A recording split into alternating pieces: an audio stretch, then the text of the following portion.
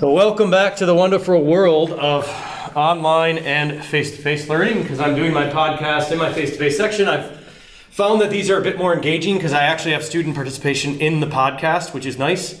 Um, and we're actually going to start with that today because, okay, how many people in here have jobs? Raise your hand.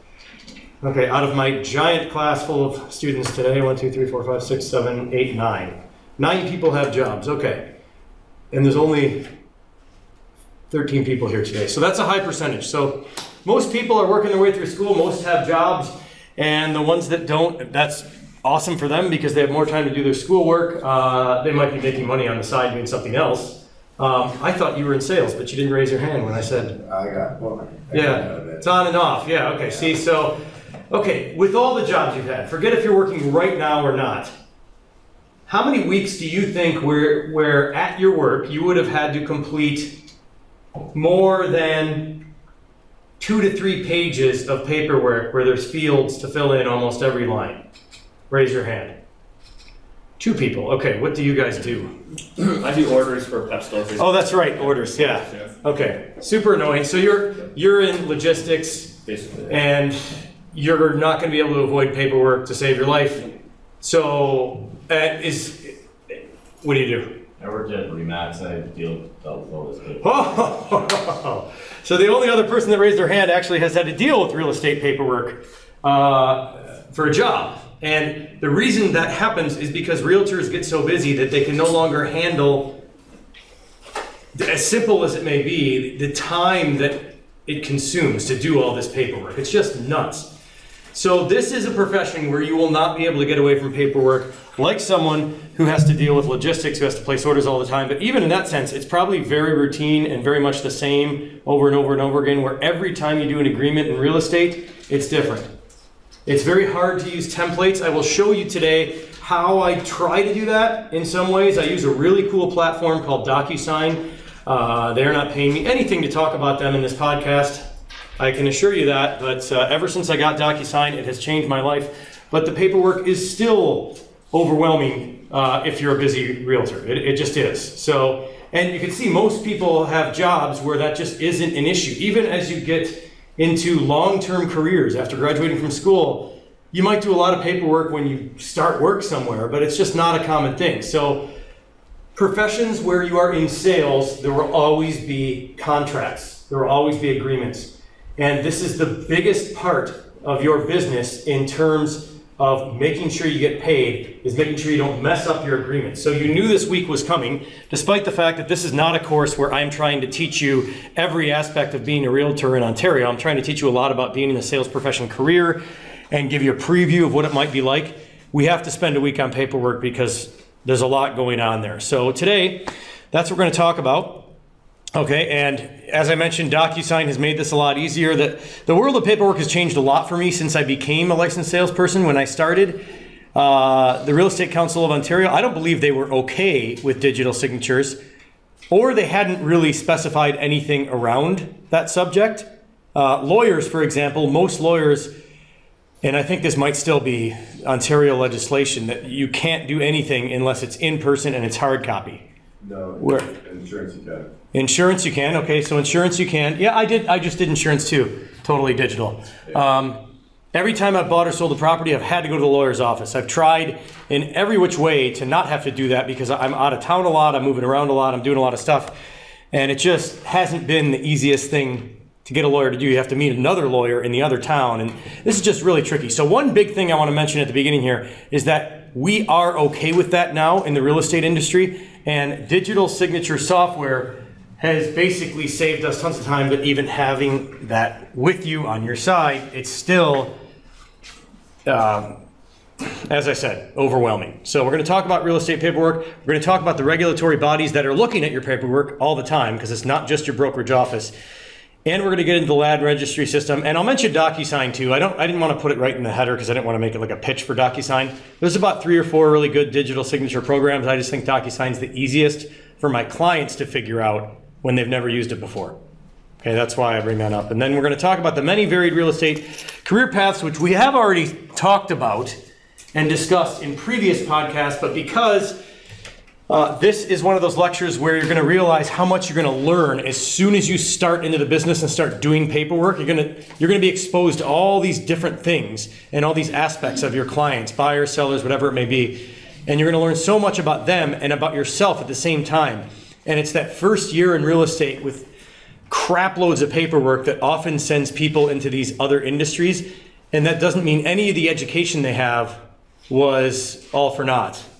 You- understand what I'm saying? So that you could go through the course load and go through the program at Humber and end up not pursuing a career in licensed real estate sales full time, but end up using that knowledge for something else. And I thought this was a good week to kind of remind you of that because we haven't brought it up since the beginning of the course. There's lots of other paths you can take. Some of them have more paperwork, some of them don't. So I'll talk about that at the end as well. So, uh, what I'm about to do in this situation, I'm going to walk you through a bunch of the aspects and components of paperwork, and I'm going to use a residential listing to start, and then an offer to purchase a residential property to wrap it up. So we're going to have uh, a listing and a sale, a buyer. Okay, so a seller and a buyer, and I'm going to show you the paperwork for both. I'm not going to mix it in with the commercial. Commercial would be pretty similar to what you're going to see here. Certain forms that you're going to see as part of these packages that I've put for you on Fanshawe Online that I placed in there for you would be the same, whether it's commercial or residential. But we're going to start with this form. So as I'm going through here, you will see certain things that we're going to discuss, and anything in the form, like uh, like a, a large, like probably, even though we will have spent seven weeks covering material since this test, I'd say there'd still be a good 15, maybe even 20% of the test that might relate to questions about paperwork. Obvious questions where if you've at least spent an hour just looking at these agreements and gone through them and you understand what they're all about, you'd be able to answer these questions. So I will have some questions on the test that pertain specifically to paperwork. Um, typically ones that I will have covered in the lecture. So we're going to talk, this is where you set your commission out. This is where you set out how long you're going to list a property for. Like all this stuff has to be specific. You don't just talk to a buddy and say, yeah, I'm going to throw your property up, go put a sign up and take some pictures and stick it on there. And most brokerage offices are so busy that you could do that, and they probably would not be tracking you down for your paperwork if you've taken the broker load course, which most salespeople have. Most salespeople, if they've been in business for more than a few months and they're comfortable and they're starting to get listings, they automatically just take the course so that they know how to load their own listings. They're already having to fill out all the paperwork. All you're doing is taking all the information from that and sticking it in all the fields online. So you're going to see me doing stuff like this today so you can see how it would be if you had to do this. And I've complained for several years about the fact that these data input forms for listings, which have all the different fields that you need for the room sizes and all this stuff, that if you fill those out digitally and sit down with your owner and get it all filled out, there's no way to directly transfer all that information right into a listing on your board because every board is different. So you still have to go and type, basically, you're copying and pasting the stuff back out. So what I usually do is I usually build the listing first and then I put that stuff into the contract and then make them sign it. It's you'll see what I'm talking about in a minute. So you do need all these details on the property. I was kind of a tiny bit ahead of myself there. So commission set, term of the contract, details on the property. Meaning what? Who owns it? Oh, well, it's my my mother-in-law she's passed away. Okay, well, why are you signing the papers?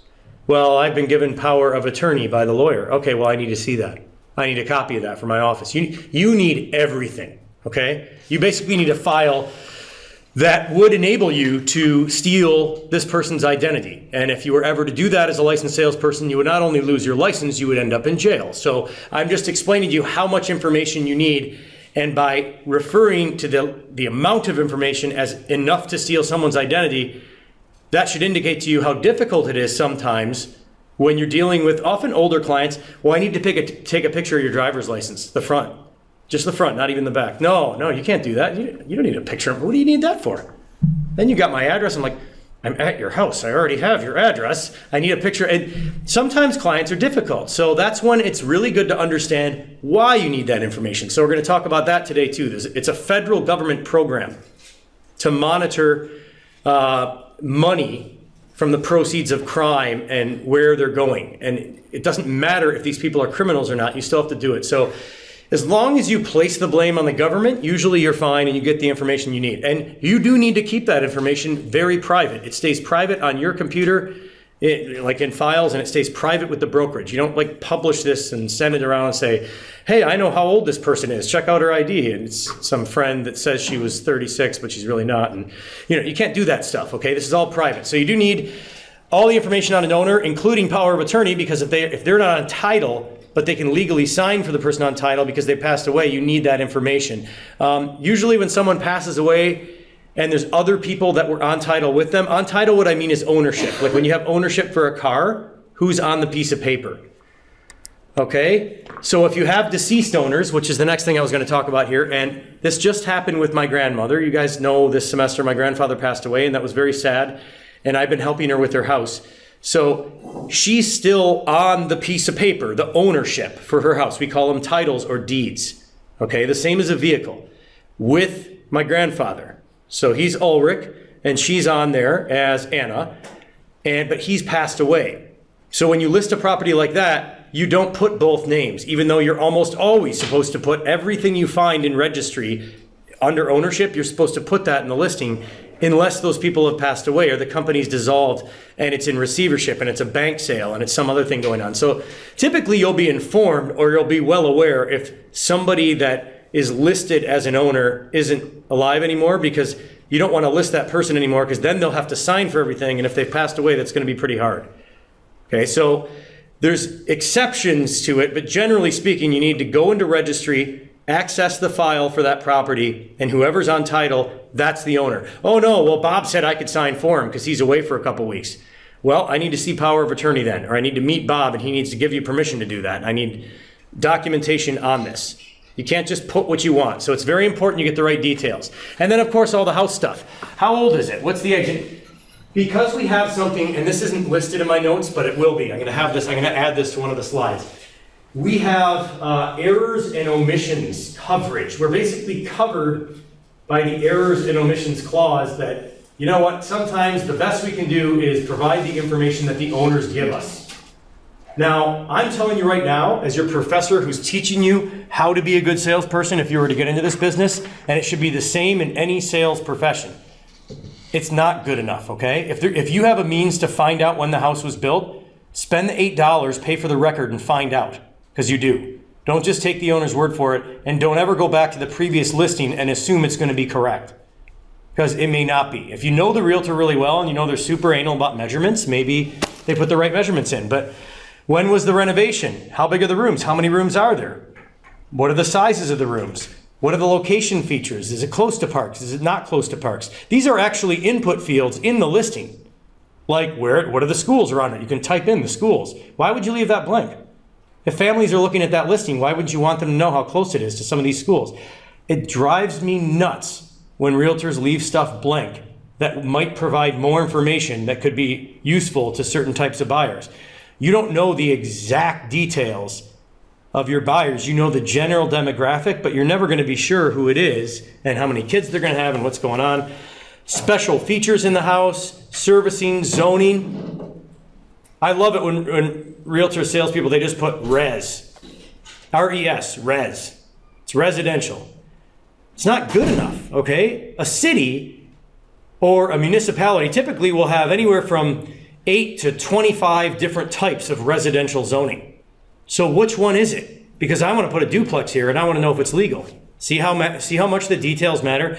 So my big pitch on the listing here, and I, I don't have enough time, even in five or six classes, to show you how well you can go and find all this stuff. I'm going to show you previews and little bits and pieces of it. Um, and once you get all that stuff done, if for some reason the market's gone a little cold, you haven't sold the property, it's kind of nice to be able to just reboot that by extending the expiry but a lot of sellers, they want you to let it expire and then relist it a little bit later so it looks like a new listing.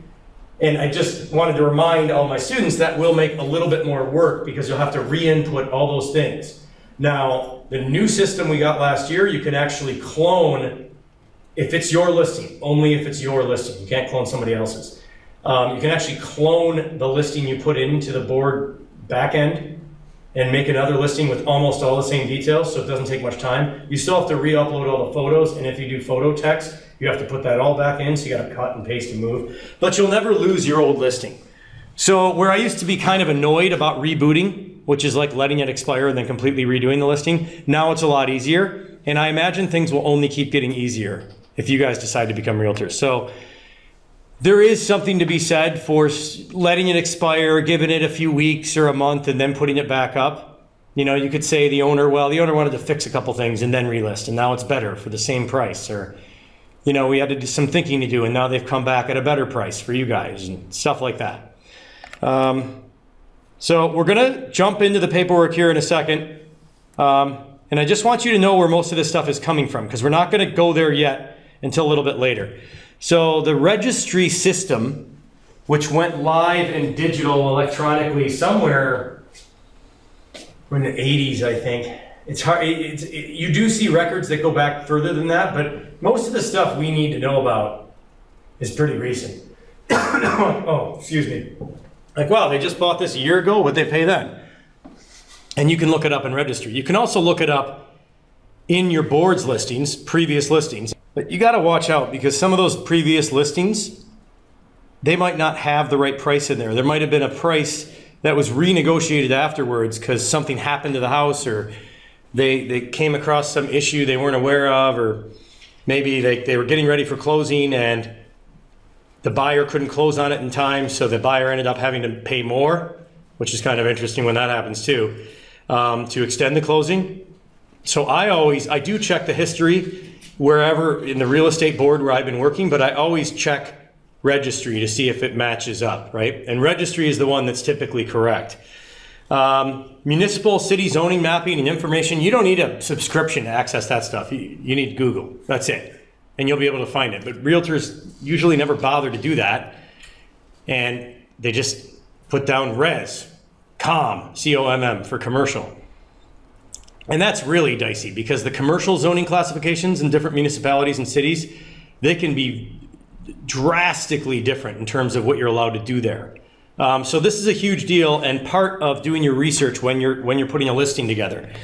Um, you can list on the MLS, so on Realtor.ca with a client. You can also enter into a contract where you just have a sign on the property, and it's called exclusive, where you don't put it on Realtor.ca. Now, uh, per my lecture uh, back in when was that week nine, when we talked about the major platforms and how and the power of Realtor.ca and how it's still unlike in the states where they, they have some alternatives to the MLS in the states. Realtor.ca just dominates in Canada by far, huge. Um, you're really not doing yourselves favors by not putting it up there, but they do have a listing option to just do it exclusive. And then you have these situations where there's a guy in town that's gone to half the realtors in town and said, Hey, get me this much for my property and I'll give you this much commission. That's not really much of an agreement at all. It's kind of up in the air. You need to be careful sending people to those types of sellers because you might end up getting them connected and then being completely cut out. And if you have nothing on paper, you have nothing to make sure you make any money. Listen, I'm, I'm not trying to say I don't give people good deals. And there's a lot of people I trust way past the point where I even need the paperwork right up front. But it's, especially when you're starting out, you just need to be really careful. Just, and there are tactful ways to do it without making your clients feel like you you don't trust them. Oh, you don't trust me? So you have to have all this in writing? No, I trust you just fine. My brokerage basically won't let me work there if I don't have all this in writing, which you guys know is untrue because every brokerage will take anybody that'll sell at least one house a year because they're going to make money off it, right? They'll take anybody that doesn't sell anything because they'll still be paying fees at most brokerages. But you could totally blame it on the brokerage, throw the brokerage under the bus. But they offer a lot of support, you know. So, and I have some colleagues that I work there with that I've been with for a long time. And I want to leave there, but that's their policy. I'm sorry. Now, good luck trying that with commission. Sorry, my office won't let me go below 4% commission. People know that. People know better at this point that you have the flexibility to charge your own commission rates. But you could say that about some of the paperwork to make them feel more comfortable. FINTRAC, that's not even your, your office, that's the Canadian government. There's no way around it. Okay, so um, let's take a look at some of this paperwork. We'll talk about HST right after that. Uh, I have open in Acrobat here. a sample listing package. So, in this listing agreement, you are obligated by the Real Estate Council of Ontario to go through every bit of it with your sellers. Okay, and now that does get to be a little cumbersome because people get so comfortable with the, the nature of digitally signing that. So now at this point, if I've worked with somebody before and I know they've gone through the listing agreement, every time I still send them one, if I'm selling another one of their properties, I say, Do you need me to go over anything in the listing agreement? If there's been updates to it or changes since the last time they signed one, I say, Oh, you know, they, they updated that one clause about. Um, uh, the warranty clause and said that they changed some wording in it. That's not actually true. But, um, and there's, there's not as much in here as there is in an agreement of purchase and sale, but there's a lot of stuff in here. And in the context of this podcast, I'm not going to go through it all. I'm going to point some things out, uh, but I'm just going to show you what this looks like. So these are pre-made forms. You don't make up an agreement. You will make up certain clauses and you will have sellers that need special language in their contracts and there are places for that. You can add schedules to any of these agreements. A schedule would be like an addendum, right? Or some, or like an index, or not, no, not an index. Almost like an appendix to a book where there's additional information at the end. They call them schedules with real estate contracts, okay? So you have a listing agreement, and certain things need to go in here. The address goes here. The time at which you can start promoting the property for sale goes here, and the date on which you are no longer asked to do that, according to the seller, the price. This is a new one. This just came out maybe 18 months ago or so. Seller hereby represents and warrants that they are not party to another listing agreement because there were sellers that were going and secretly listing their properties with multiple realtors and not telling one or the other to see if they could get more leverage on the market. Just ridiculous stuff, right? You can't. Then, then who gets the commission, right? Oh, whichever realtor sells it. Well, this isn't Brazil, right? We talked about Brazil they have a market that's more like that. Our market is more regulated. Everything in Canada is very regulated. Everything in Ontario is even more regulated. Okay? And I'm not saying that to be negative. For once, unlike speed limits on the 402, which finally just got raised to 110, which is nice because it's like there's nothing there. It, seems to make more sense to me. Um, that it's in line with the speed limits on 994 where it connects in the States. Uh, for once, I'm actually in favor of this type of profession being more regulated because I don't want people involved that are going to mess all this stuff up, right? I often have to fix a lot of things in paperwork when I get them from other realtors because they've missed things, they haven't filled stuff in. You're selling a condo and they didn't fill in any of the information on the management company. So, you basically, when you start out, you just have to go through here and take a look at this stuff and understand it. And when they're teaching you at Humber, they will you will study these agreements inside and out and know what every clause really means. And then the expectation is that you leave your courses and go and do that with every single client. I'm not going to lie, and I'm, i hesitate to even record this, but I, I have not really done that. It's been years since I've sat down with a client and gone through every single clause. I typically will always do are you comfortable with all of the information in this paperwork? Do you need me to explain everything? It is my job to go through it all with you, but I know you've done that before. See, I have to say that. And then when they say, yeah, I'm good, I'm like, yep. And there's there's sellers that I don't even need to say that to anymore, right? It's like when a cop arrests somebody and they know they've been arrested so many times, they don't have to read them their rights. I'm kidding. That always has to happen. This is very different, okay? So this is a situation where it's your job to make sure the client understands everything in the agreement. And I'm still doing that. But when I first started, I was a total nerd about this. And I had somebody that basically they were ready to cancel the whole thing if I didn't just shut up and let them sign the papers. Because it does take a while. So you have to go through and explain what irrevocable means. Sometimes people don't know that, you know, like an irrevocable date on a contract is, is like when anytime after this date, if it's not signed yet, then it's dead. We'd have to redo it with a new date. It's the expiry of the contract as it sits there waiting for the other party to agree to it. It's an expiry date, right? Seller is willing to go MLS or exclusive, so on realtor.ca or not on realtor.ca. Okay? If it's more than six months, you got to initial here. This is a bunch of legal language that I'm not going to see. I won't. I will not test you on stuff that's inside of actual clauses. I will basically ask you like, what agreement or what, what form, and I probably won't use the form number, what form would you have to do this on? Is that a listing agreement? Is that a schedule? Is that the input agreement? I, I will ask you pretty basic stuff. Um, but the contract has to be defined. This is where you put the commission. So here you always put the total commission. And then here is where you would identify what you get if there's only one realtor involved. Remember the double ended scenario? That's what you want. And unlike a lot of the older school realtors, I offer a better situation there. So I'll show you one. Um, I'll show you one unsigned. That way I'm not breaching confidentiality with the client here. Um, so I'm gonna. So this is all there. So now I'm gonna switch over to my platform, and as I'm going through, you're gonna see stuff in here um, already set up because what you're probably wondering now is, okay, cool. So do I print that out and then write it all in? There are lots of realtors that still do that. I would never ever freaking do that. I don't know why you would do that. Um, here's one that I just set up uh, not too long ago. Let me see here. You know what? I'll do I'll do my own house because I don't ever I wouldn't want to ever be seen as breaching confidentiality inside of a podcast video. Just because I'm a teacher doesn't mean I can start showing where everybody lives and all sorts of stuff. So I will do my own listing documents. This is a house we used to own. We sold it in August. Um, I still have to sign the listing documents as the owner, despite the fact I'm also the listing salesperson. So I'm going to start and go through the same exact papers that I gave you guys in FOL and just show you a little bit of what's going on here. Okay, and then I'm going to do the same thing for a purchase, and then you will have had your crash course on paperwork, so to speak.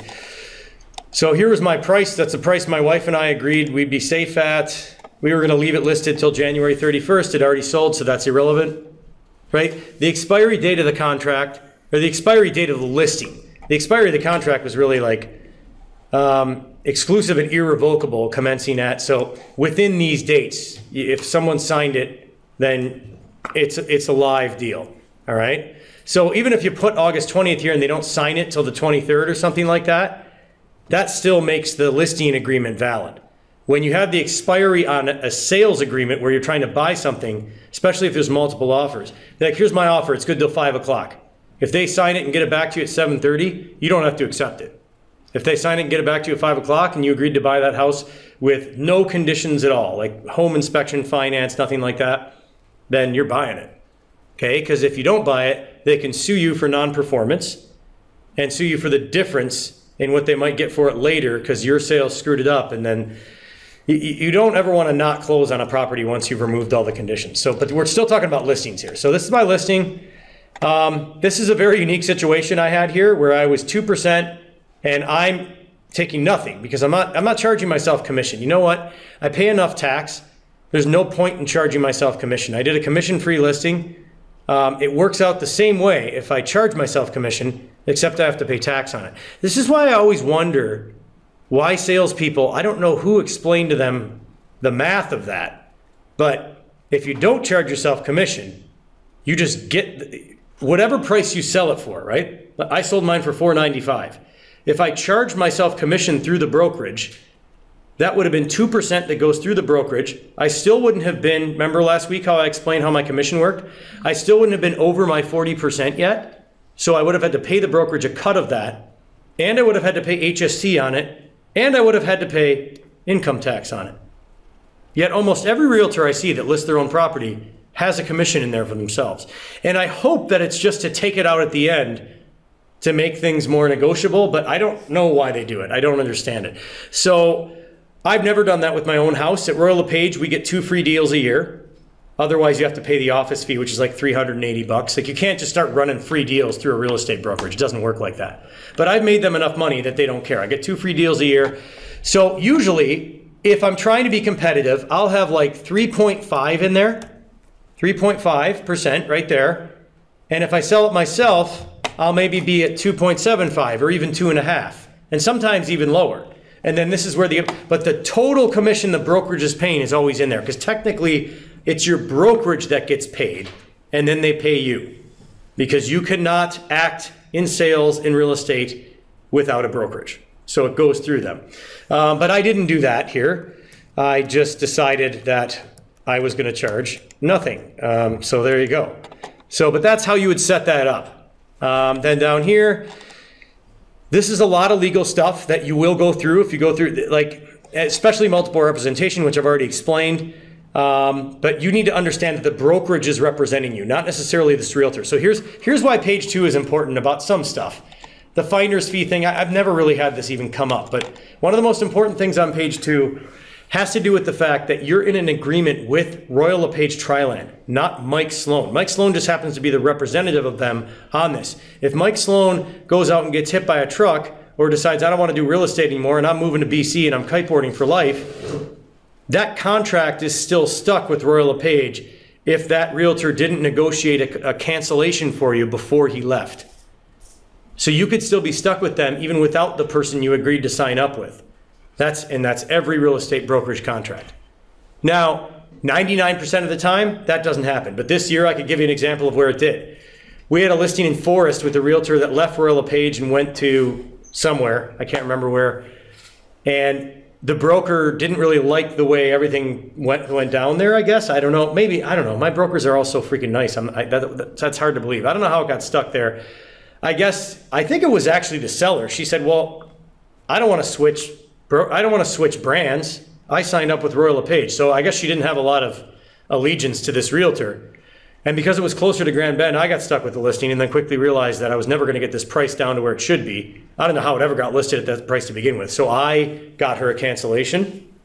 But the, but what happened was that the listing stayed with the brokerage and they shopped it around to whatever agents were close, closest to Forest and I got the listing. But it was nothing but a bunch of work because it wasn't priced right, which is probably why the guy didn't fight to bring it over with him, right? And I really like the client. She's wonderful, but her partner didn't want to change the price and they were in a conflict. And when you have a corporation as your seller, everyone in the corporation has to agree. And if they never can, then it usually ends up in court. And I didn't want a listing like that. So, but you should be aware that you're represented by the brokerage. And that talks about that there. It talks about multiple representation.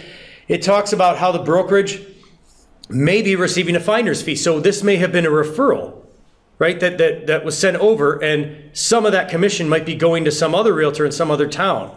And this gets into the details of that a little further. Um, it talks about marketing, and that's the most marketing is ever discussed. So when you get clients and they start complaining that you didn't do aerial and that the, you need to be upfront about all this stuff at the very beginning. Because the language that's in there about marketing is basically like, yeah, we can put a sign up and you're going to be on some websites and we're going to talk about your property. That's it. So if you don't do enough, nobody can go and sue you for that. But you also might look pretty bad if you never really got into that discussion with the seller. So that to me is useless. I always sit down with my seller and say, I promise to do this, this, and this. And if they want me to promise it in writing, I add a schedule to the listing agreement and I put it in there. Uh, the seller warrants that um, there's nothing crazy going on with the property. There's no third party interest. There's no liens against it. So when they sign this, if it's later found out that that wasn't true and that they had like a second and a third private mortgage against it and all sorts of other stuff like that, that's not your fault because they're agreeing to this. So you need to make sure if you're not going to go through everything in the contract, that it's just brought up. You should have your house insured. There's all sorts of stuff in here. So I'm not going to read through every single clause, but you can see just after touching upon a few that I wanted to touch upon, it's not like it's not important stuff. And if you've never met anyone, you need to make sure they do understand it all. That is your job. Um, moving on to the next page, it's still discussing the uh, the use and distribution of information, and there's a lot about privacy in there, but how the MLS works, and there's really not much they can do about having pictures of their house online unless they refuse to have any photos. But you can't list without a photo of the house. And that's a, that's a RECO requirement. You can't, in fact, you can't list without a photo of the outside of the house within at least the first five photos. They have some interesting rules about that. So there's going to have to be photos and information. Um, there's stuff in there about conflicts. There's stuff in there about electric, electronic signatures now. So you don't need the clause anymore. That this agreement and any agreements, notices uh, may be transmitted, may be transmitted, sorry, electronically. And then I sign on behalf of the brokerage, and then the seller sign, which happened to be me, because I'm showing you my own agreement. Then, uh, yes, um, I have insurance through the Real Estate uh, Brokers and Business Act, and the, like I have my RECO insurance, okay? And I'm the salesperson, and I sign for that.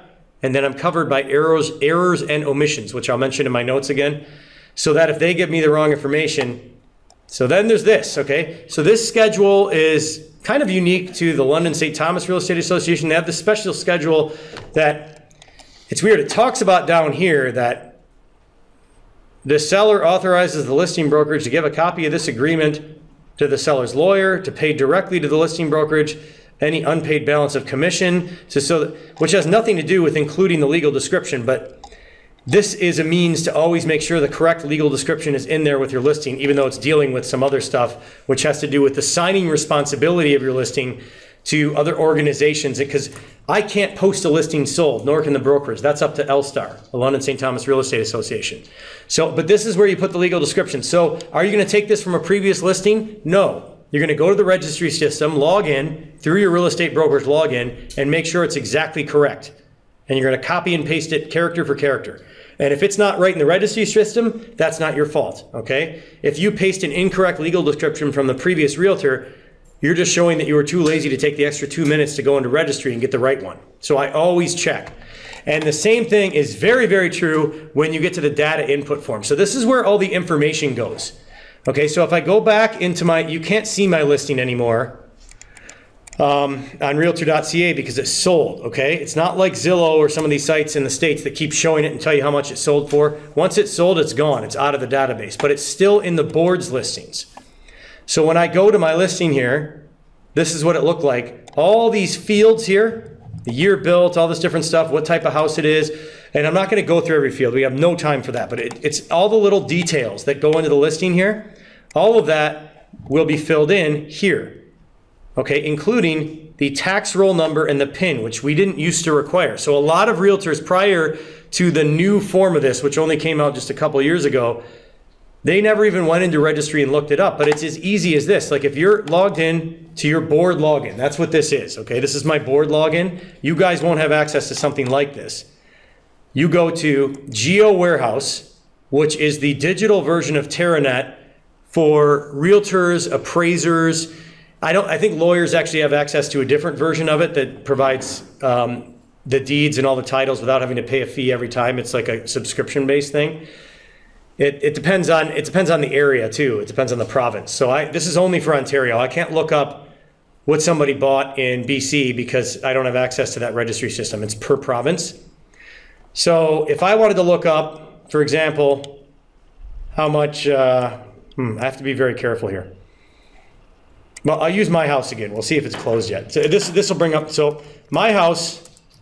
And here's another issue I have with registry, right? So the street name and the municipality's mapping shows Joanne being spelled as one word. But somewhere along the way, somebody got it in there as two words. So registry is actually inaccurate in the way that it's spelled. And typically you're always supposed to put in exactly what registry has. But I, I lived on the street, so I know for a fact even, even in their own mapping, it's one word. Okay? So there's my house. I can switch to satellite view. This is all going to be, like, this is going to be fast here. I'm not going to ask you questions about all the things that registry offers. Um, okay, aerial. See my house there? Know, that's a pretty old picture. Um, well, maybe not. It's got my new shed and stuff.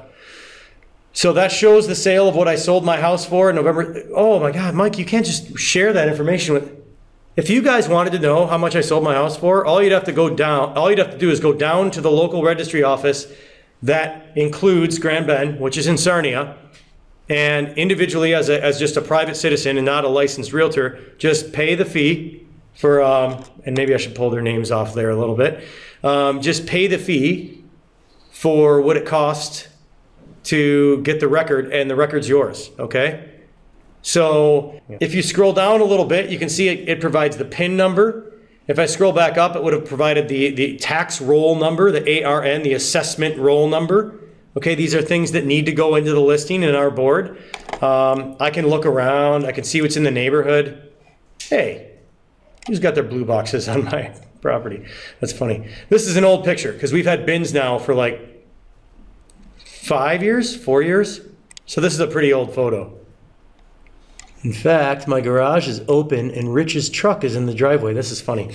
Um, he's my former real estate partner who used to help me out with a lot of stuff. So, uh, Okay, so if you scroll down a bit further, and I'm trying to turn this on and off, it'll give you precise sizing, but measurements that are not precise. So I've always found that with this, this is actually accurate, but these measurements they have in here in the mapping are not. It's weird. So this is taken right from the registry, but these are based on like satellite positioning and GPS, and they're not always right on. So this actually shows my property being a lot smaller than it is, um, but that's the proper measurement in square feet. If you go into the store, you can buy reports for eight bucks that show the year built, how many bedrooms, how many bathrooms. You don't have to trust the other realtor. And that might not be accurate either, because they might have done stuff in the house without a building permit. But that at least shows the year built and stuff like that. So you can go into registry and get that information. Can you guys access any of this without a license? No. That's why I don't want to spend too much time getting into the details and the process. Um, I just wanted you to see how it works. So as I said right before I got into web forms, I said, so some people still do print it out and write it all out. I never, ever do that now. Everything I do is digital. I fill in all the information in here. I type it all in. I'm still using the, using the old version of web forms. The new one's supposed to be even faster. But I just, um, I got to sit down and I'm, I'm all about the new stuff. I always want to transition to the new one. I've just been too busy to sit down and go through the differences. And I'm so used to this, so I just keep using this one. Um, and this one's really only been around for a couple years. So you check off, see, okay, look, see all these check boxes? So it's not just like the house and the rooms and how they're measured. What are the services? Cable, electronics, fiber optics. You need to know the right answers to these questions. And of course, if you screw it up, you have errors and omissions insurance, but still, you want to provide people, especially buyers, an accurate representation of what you're trying to sell. And that's what all these fields are for. You don't just want to leave stuff blank. In fact, the form won't even let you. If it's filled in bold, it, will, it makes you put stuff in. Um, what is the water service? It's municipal. It's on, whoa, that's not right. It's on septic. Um, but I'm pretty sure I had septic in the listing. Why did I do that? See, and this is the difference between um, doing, yeah, I did. I did have septic. I don't know why. But that's not going to matter. What matters is what you advertise to the public. Huh.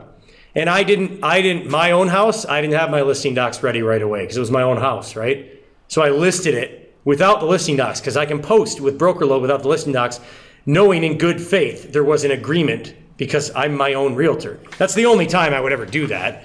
Um, but that's why I made a small mistake there like that. So you check off all the boxes that are applicable. You don't have to put the room measurements in here. You can put them directly into the MLS. So I hardly ever bother to type them in there twice. It's just more typing. That's literally how busy people get. I don't have to type the room measurements in there twice. And then this. Remember the thousand characters that we get in, in the London St. Thomas board? There it is. Okay. Two. Uh, how many more spaces do I have left? Four. I was, that's usually, that's a lot for me. Usually, if I had four characters left, I'd do something at the end like this. Wow. Fill it up. Fill it up, right? And then this is what you get for realtor remarks, but this is a little wonky. The amount of space they give you here is actually less than you get when you go to input it in here. So I'll show you how that works too, okay? So if I were to go in here and I wanted all that information to transfer right from this form, it doesn't work like that. Once you get the agreement signed, you have to go into your board's login, which is probably going to look a little different than mine if you're not working in the London area. You go to add a new listing, whatever it is, residential, commercial, farm, and then you have all this stuff. You, you fill in the area, you get to the next thing, you fill in all the, just, just a fill in the blank type of thing that looks similar to this, but the fields are slightly different. Like you can get, I can fit more in here um, on the matrix system, that's the matrix here, than I can here. Okay, and then this is the good stuff, your commission. Can you change the, is the commission different if there's two real, so here's the question where it's asked, is there an altered listing contract on a double-ended thing? And every one of mine says yes, because I charge people less if there's two. And if there's multiple offers, will I still charge them less? Yes. Too bad. Tell your buyer to come directly to me. Now, I, I don't ever think like that. I want to work with the other realtors. They make deals easier, they facilitate things. It's a better experience for everyone, typically, if there are two realtors involved, even the seller. So I was happy as heck when this particular realtor who sold my house brought me a deal, even though I was making quite a bit less money, because she'd qualified the client, she'd done all this stuff, and that's that's a really good segue into the next set of paperwork. Okay, so back to the notes here. what we've seen is that there's all this information about what's what. Now, the one thing that didn't come up at all in the listing document, and you need this is why you need to understand it when you're listing a place, is HST. So this is a huge deal. I do not have time to fit it into one podcast. In fact, I don't want to lecture it because it's so freaking boring. There's tons of information on it everywhere. The federal government has over-informed people to the nines about how this works with real estate, and it's pretty easy to get the information. I put a collection of that in a set of notes on FOL for you, and I will ask you a few questions about that on the test about how HST works and when it's applicable, and I'll talk about it briefly here because what bugs me is that there's nothing in the listing agreement that would encourage you guys to ask about HST if you're signing up a listing. Now, who knows how much HST is? Don't look at the screen, just tell me. 13, yes. Everybody in Ontario knows that. It sucks. It's one of the highest in the country. There's a, there's a lot that are still around 6 to 8, right? Michigan 6, that's another country, but whatever. Oregon 0. There's a lot of stuff I still buy on Amazon.com where I don't have to pay sales tax. Because if the product is not warehoused or has any connection to the state of Michigan, I don't have to pay sales tax. It's freaking awesome. All the kiteboarding gear I ever bought and sold in my store came out of Oregon. No sales tax. Literally. And then I get to charge tax when I, well, I have to charge tax when I sell it. So HST is something that it, it, we have GST, right? GST is the 5% component of HST. PST, which is the provincial sales tax, those two together, they called the harmonized sales tax because it was no longer just HST that was applicable to newer stuff and commercial stuff. It was the whole thing. So if there's a commercial property that's selling for millions of dollars and somebody wants to buy it without an HST number, this is what's really important. They will have to pay 13% on that. It's 130 grand every million.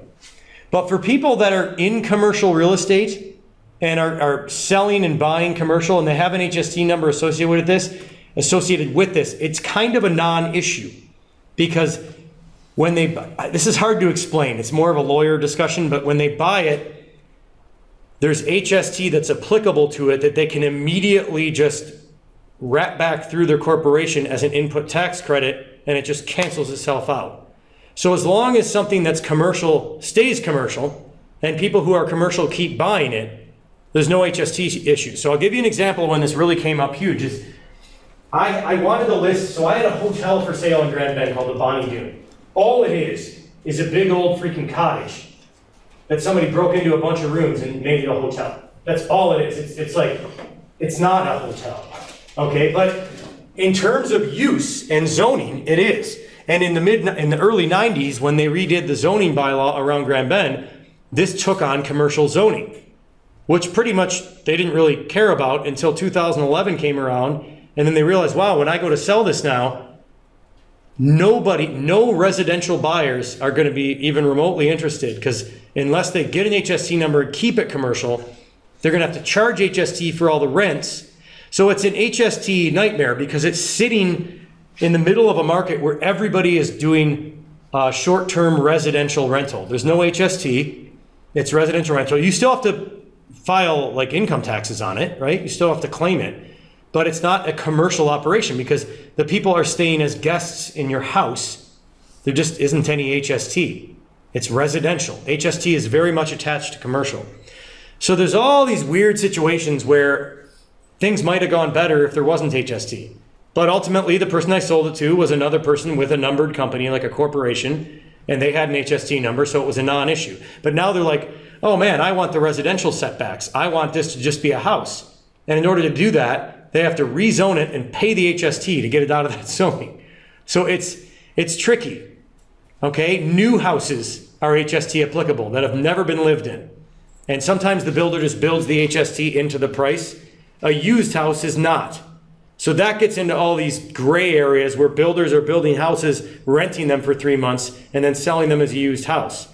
Because that way they don't have to charge HST and they don't have to incorporate and pay to, to have Tarion warranty coverage, which Tarion warranty coverage, which I don't even talk about in any of my notes because I don't believe that it's really a good program. Uh, only because I've had friends of mine that have bought brand new houses where serious stuff happened, like a few years in, and they're like, "Oh, sorry, that's only covered in the first year. That's only covered in the first couple of years." And like, but this is a serious issue because it's a seven-year warranty, but after the first year, a lot of that stuff drops off, right? Um, so there are builders that don't believe in that program too. And I, I honestly, the builders that honor the Tarion warranty and they, they're very good about it, it's, it's not a terrible program, but that's another reason builders are trying to avoid selling houses that would be brand new.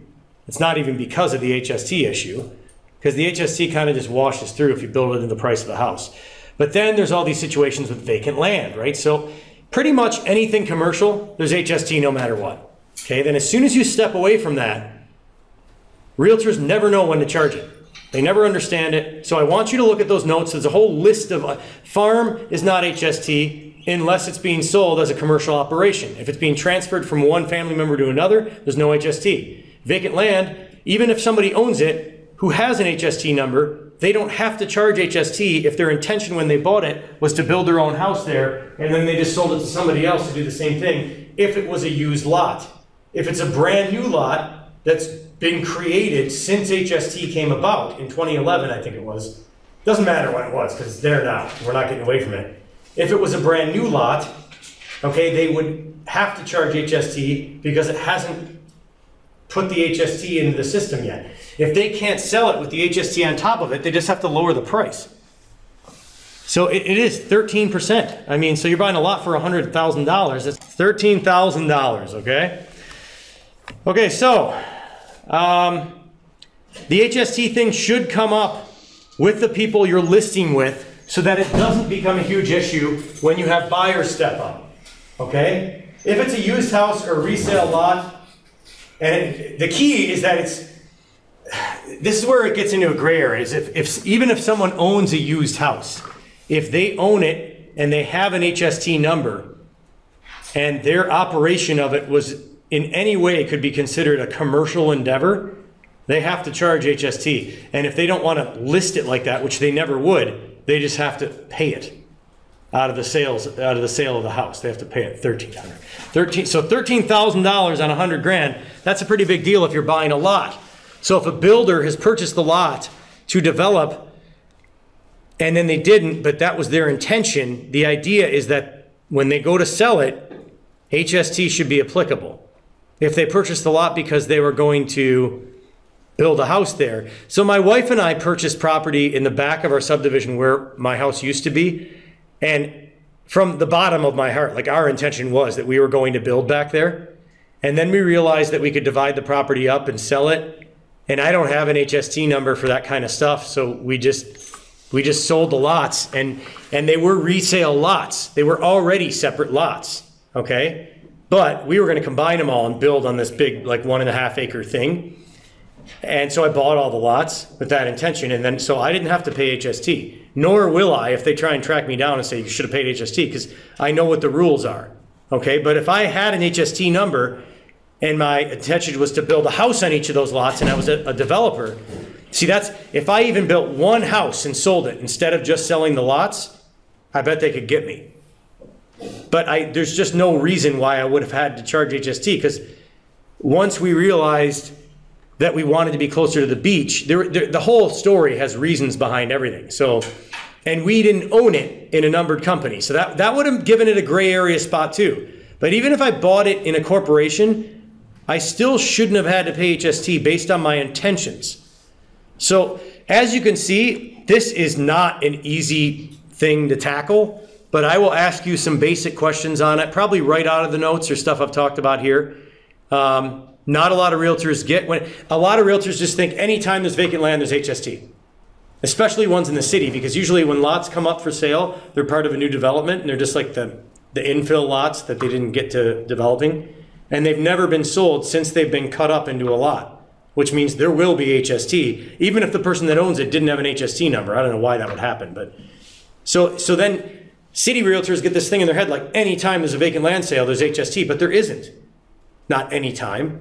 Even even if the owner has an HST number. So it's it's a big, huge freaking deal in real estate.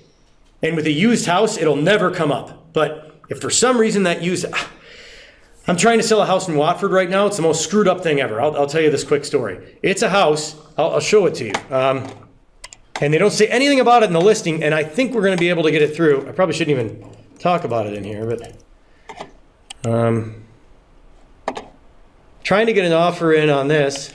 Oh, great. It's got an offer on it. Uh, when did that happen? See what? See all the information I can find out. Um, it was posted November 25th. That's today with an offer. The guy didn't call me. Uh, wow, I'll be calling him. He works in the same office as me too. We we do a lot of favors for each other where we kind of say like, "Hey, I'm really working hard on this buyer. You got to let me know if there's anything going on." So much for that. So, anyway, this place, and it's not in the listing, and I'm not trying to indicate that by any means this person is not doing a great job, but I can scroll down a little bit here. Just like new, never lived in. Um, this lovely three bedroom, two level home is waiting for someone like a starter, a starter home to retire. Blah, blah, blah. So the lot is a resale lot. It was a residential lot that changed hands a few times. There's no HST there. The house is a model home that was put together at a subdivision complex, like about probably 20 kilometers away, and was lifted up and moved here.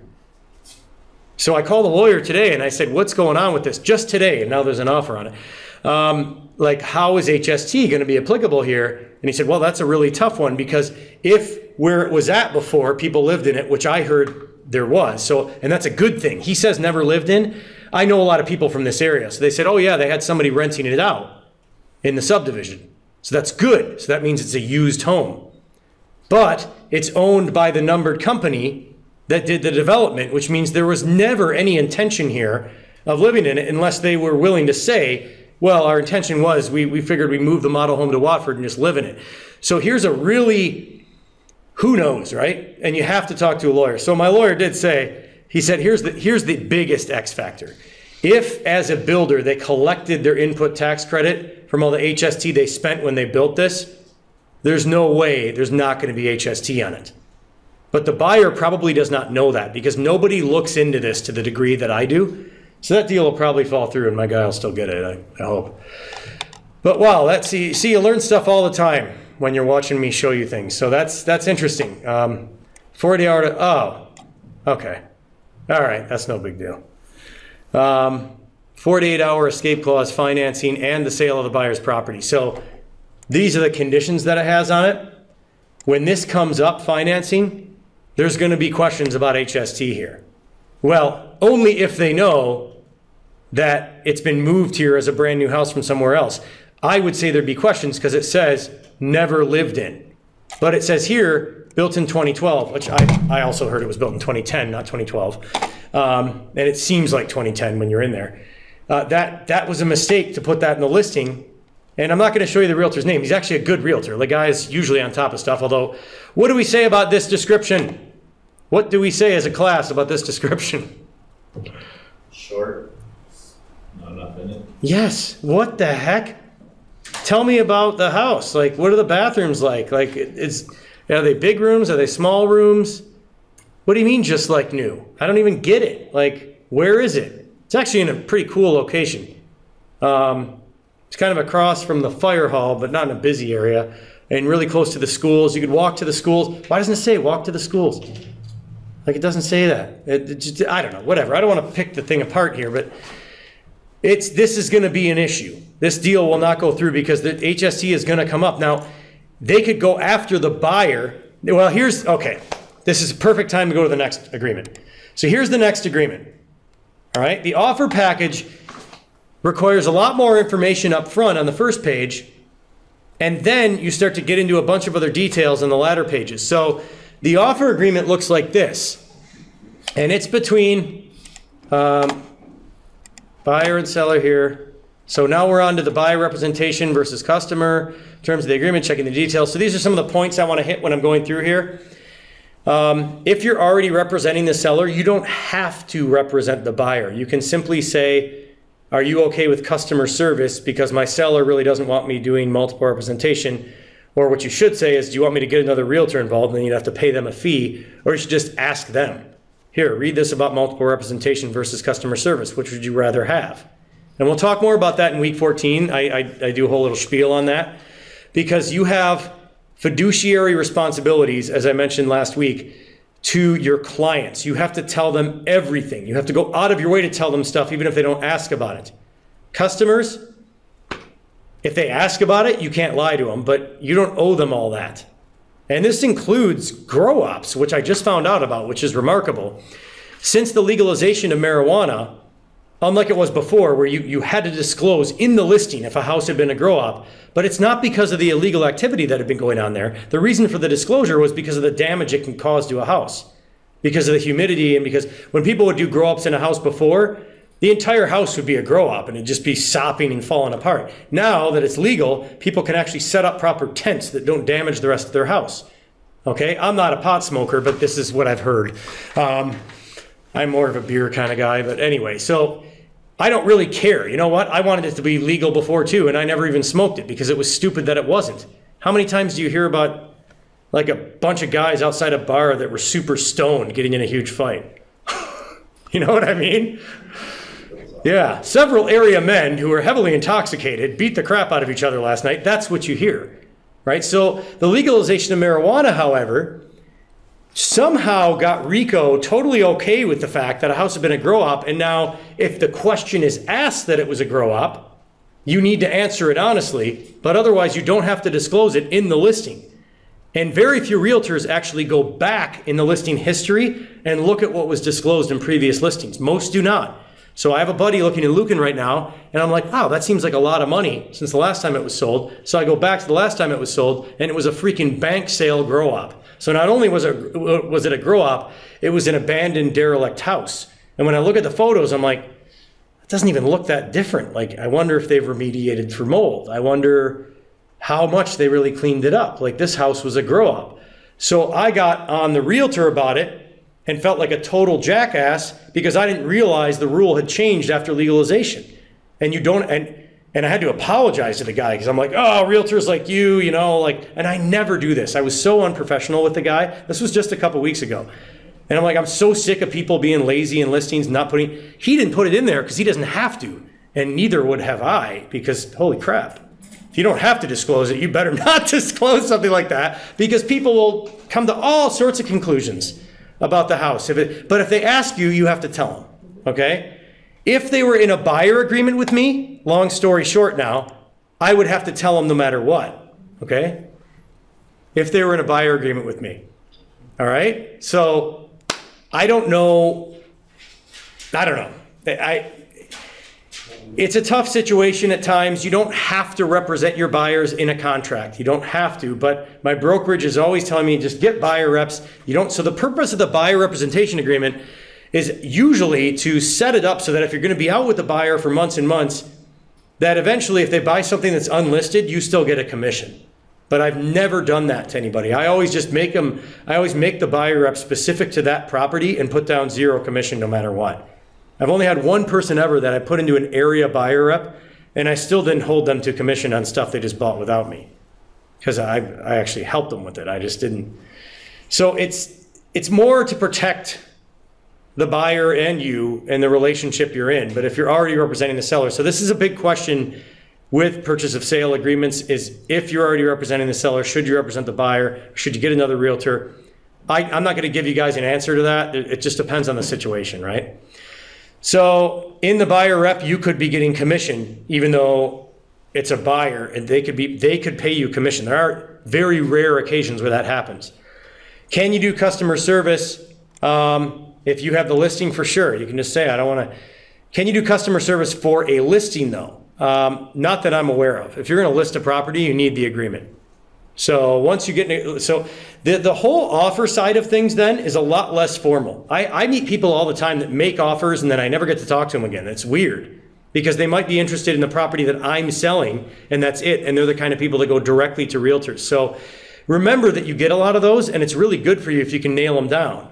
Um, but I never ask them to sign buyer reps. To me, that's like saying I'm not confident enough in my skills and my level of service that I, feel like I need you to sign this to make sure if I forget to call you, you'll just call me anyway. I don't make people sign it. So, and remember the multiple representation thing where if you have two realtors from the same brokerage, even though it's two different realtors, that's still multiple representation. That will be dual agency no matter what. Um, okay. And then the other thing, and this is another thing realtors never do. They just, oh, you want to write up an offer? Let's write it up. Cool. Sounds good. Why don't you ask them if they've spoken to a mortgage broker? Do you have a job? Oh, you don't? Oh, you got laid off. Oh, no, you were terminated because of uh, insubordination? What does that even mean? Like, what? Wow, okay. I wouldn't write that offer up as a cash offer. Are you nuts? A cash means there's no conditions for them to go talk about a mortgage and get. So there's a lot of things on the buyer side that are totally different than the seller side. So why is that still in there? That shouldn't be in there. Um, so let's go take a look at that one, okay? Offer package. So the basics, right? What's the date? Buyer, seller. What's the address? Where is it? How? What's the frontage? So a lot of the stuff that went into the input for the other realtors listing that goes onto the front page, so you understand what the property's all about. Uh, the purchase price they're offering, not the price they have it listed at, the price they're offering. Don't offer $20 as a deposit. So the deposit, just to explain how this works, you offer them a price, and down at the bottom of the page is when the completion date is. See down here, right here? That's the closing date. Okay?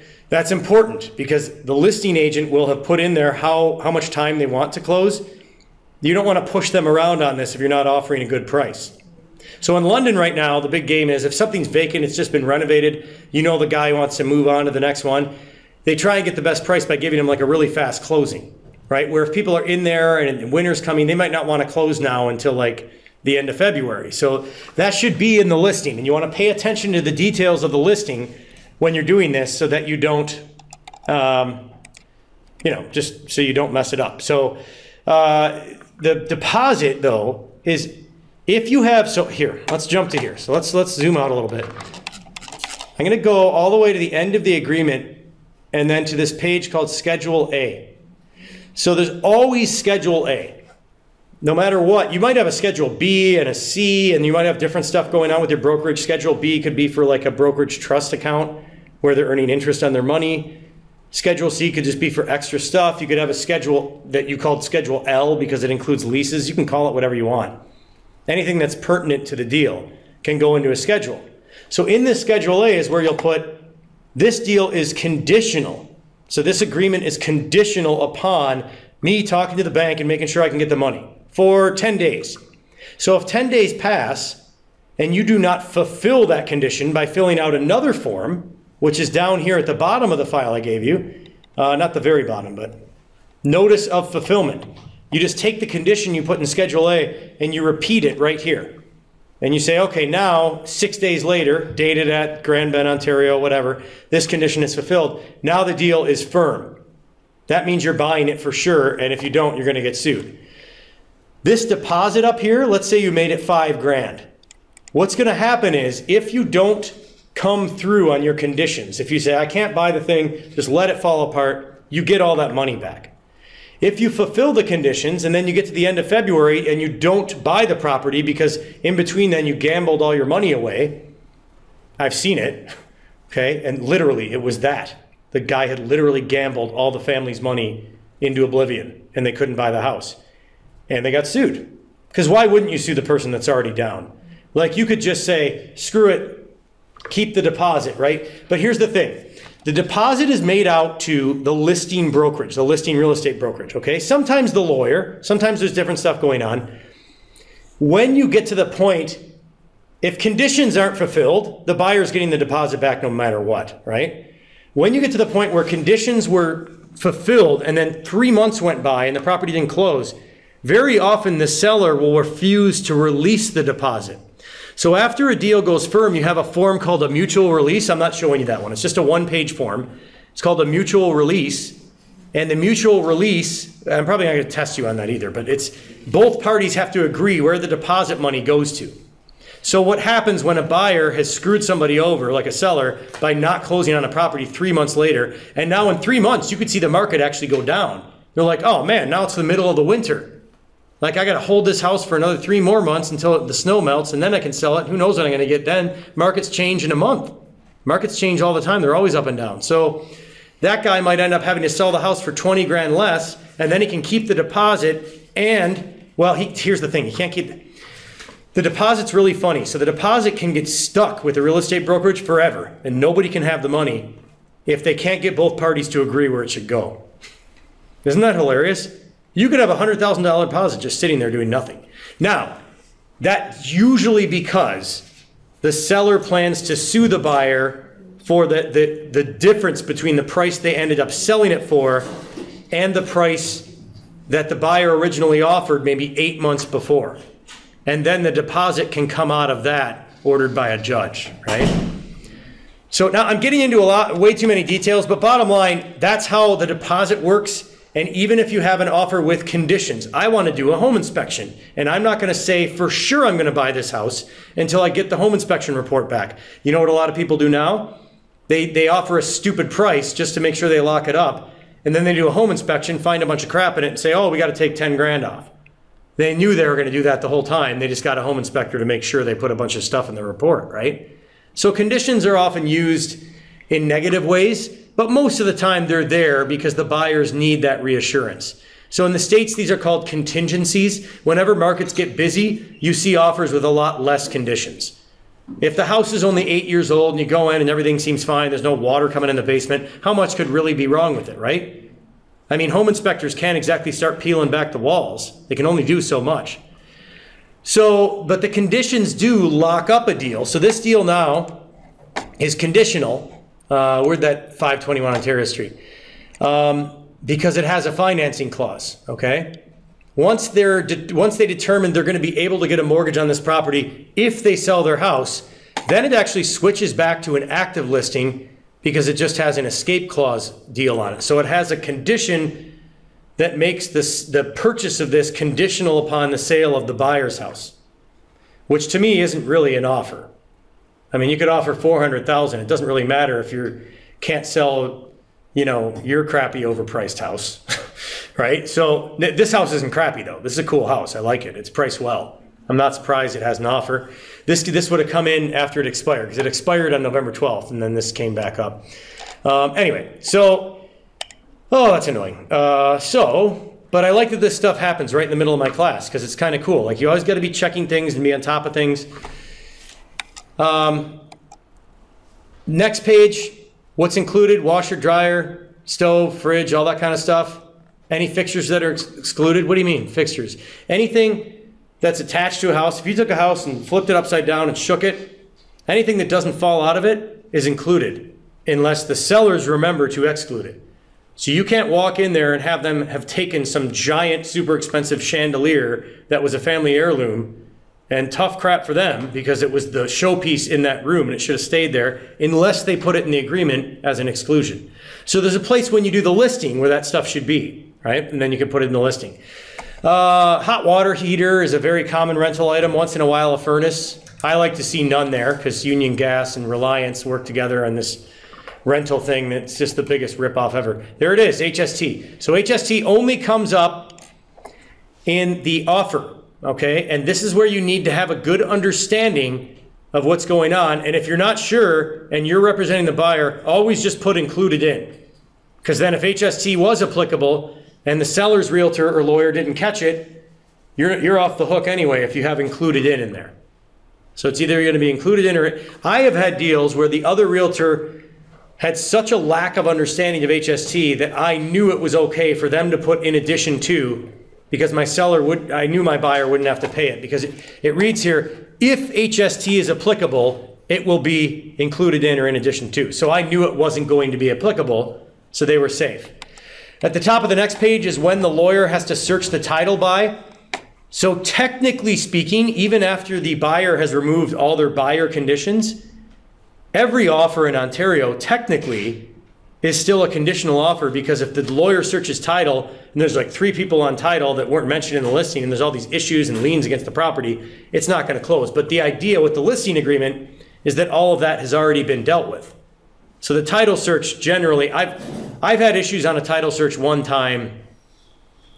Oh, oh no, twice because it happened on a property that I bought actually. There, the lawyer was great. He found an issue with the title and where it drew the lines for the property and where the lines actually were. And we had to get a survey fixed, and my property was actually bigger than I thought it was.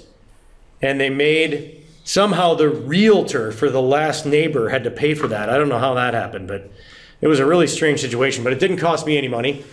And um, oh no, it was the realtor. Yeah, that was it. My seller side had to pay for it because I was buying the property. but the previous realtor had given them a bad survey because they'd never bothered to check with the lawyer to see if it was right, and the lawyer didn't either. The lawyer should have been. And then there's a bunch of legal stuff going through these pages. I'm not going to go through every one of these. There's like UFFI was a UFFI was a product they were putting in houses late 70s, early 80s that can be that'll kill you if you breathe in the fumes if you're in a fire there. So it, it's little things like that that have to be represented automatically. Um, time limits, residency is a big deal. My parents being from the states, that was a ongoing issue with them getting their money back. And then the signing page where everybody agrees and they put their lawyers at the bottom. So you'll be taught your way through this, and they will spend probably just as much time um, or sorry, they'll probably spend, yeah, well, yeah, just as much time on the offer to purchase as they will on the listing agreements that ha- often, very often have way more pages because of all the data input. Because this is where you're going to be held more accountable if something's messed up. If you list a house and there's a couple little issues there, you're covered in error, errors and omissions, and if it never sells, big deal, you're not really held to anything, right? Well, you don't make any money if it doesn't sell. Um, you could be stuck if you tell this guy, if the guy tells you it's a hot water heater rental, okay? And, and it's, made, it's been made very clear to you, and the information was provided to you that it was a hot water heater rental, and then the buyers, um, no, no, sorry, other way around, that it was not a hot water heater rental. So then the buyers put in there none. The agreement went through the whole process. Your seller didn't notice that it said none. It's not his job, it's your job. And then they get into the house and they say, hey, this is a rental. That's not what the agreement of purchase and sale said. So that's beyond errors and omissions. That's just a glaring mistake. And you, as the realtor that screwed it up, would likely have to buy those buyers a hot water heater, just so you know. You can try and get out of it through errors and omissions, but that's going to be one where if it's if it's made obvious to you and it was in the listing agreement that it was, a rental and then you just accidentally put it in that it wasn't, they could even say that you did that because it makes the listing more attractive and you just figure you'd figure it out later. So I had a situation like that. And I'm admitting this where I didn't I automatically thought that it was not a rental because it was an on-demand hot water heater and I hadn't seen those as rentals yet. So I never even asked the seller. I just never asked him. And he assumed that me, as his responsible listing realtor, would have gone and looked at it and seen the union, the Reliance sticker right on it, and there's an agreement and everything. And then the buyer buys it, and the agreement was all set and firm, and it was a week from closing. And the agreement was that there was not a hot water heater rental. And then it turned out, when they found out there was, that she actually preferred that and didn't realize how much of a ripoff it is because she, well, there's a reason. Maybe she knows how expensive it is, but she's still happy to pay for that so that if anything ever goes wrong, they're immediately there to fix it. That's the advantage of having the rental hot water heater. Okay, so I was covered, I was safe. And now it's closed and done, and they agreed to close it that way. And there's been trans, uh, transmissions. There's been communication in writing that it was a rental, and they acknowledged that they were okay with it. So then I'm okay. They can't come back and sue me now. Um, but you got to be careful with these details. It's all about details, okay? Then you get to Schedule A, and that's where you say on every agreement, the buyer agrees to pay the balance of the purchase price as such, right? Which is usually just the money will be transferred through the large value transfer system on the day of closing. Sometimes the buyer convinces the seller to, to hold a mortgage. So the seller actually carries a mortgage on the house that they're selling and that clause would be a little different, but that'll be the beginning of every Schedule A. And that's not a condition, that's like a term of the agreement. Then is where you put, we want the seller to make sure the yard's cleaned up before closing. And that doesn't have to be a condition, that can be a term. And then if you get to closing and the yard's full of junk, the lawyers talk to each other and they have to come clean it up. They have to. It's part of the contract. And that's also where you can put the conditions. Like the, the buyer has to go and make sure they can get a mortgage.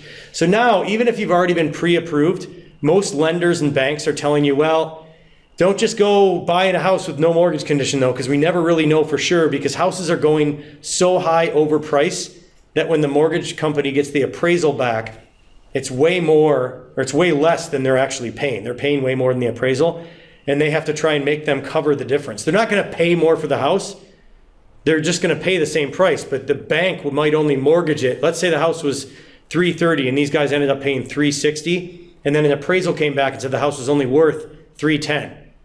the bank will only mortgage it up to 310 and the buyers will have to, if they want to buy the house, they're not going to have to pay more for it, but they'll have to pay more up front. They'll have to pay the difference between 310 and 360.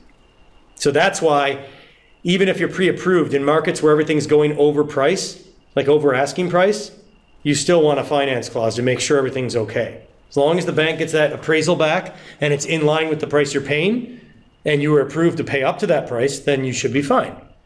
Right? So there's a lot guys, holy crap. Like I'm not even close to scratching the surface on all this stuff and look what like we're almost done, right? There's a lot of moving pieces here. An enormous amount. And the agreement of purchase and sale um, will always work together with those schedules, and you could add more schedules, and then you'll have a really important document called confirmation of cooperation, which I'm not going to spend a ton of time on. It's right here. That's where you identify who's working for whom and how they're getting paid and how much. So that's an important one. It's two pages.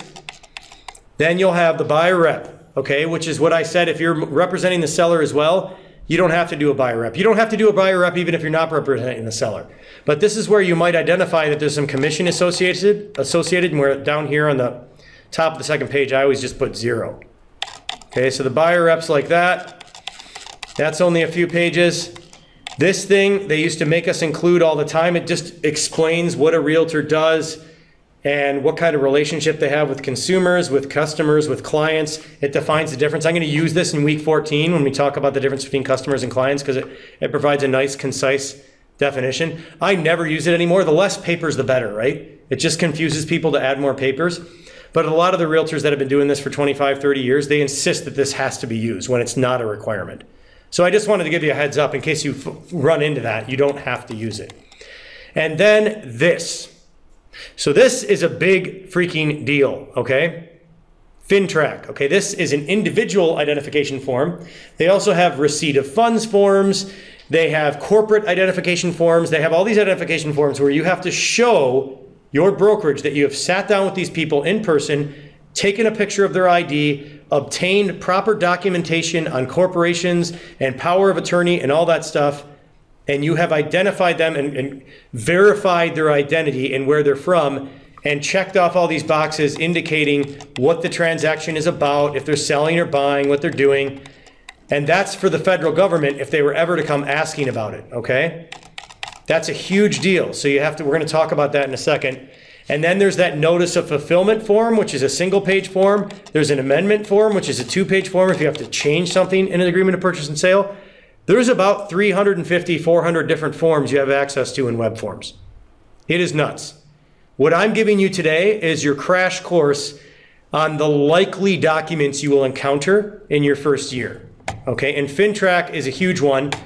And that's why once we get through kind of the quick review of how all this stuff works, we get to FINTRAC. Okay, so I have some links here, and I'm going to give you the quick breakdown on what it is. Okay, and I, I expect you to have at least looked at those links. They'll all be in your notes separately. When, when you go to study for the final test, even for my face to face students, I'm going to transfer all the information I have for my online students over to your FOL so you have all the same details.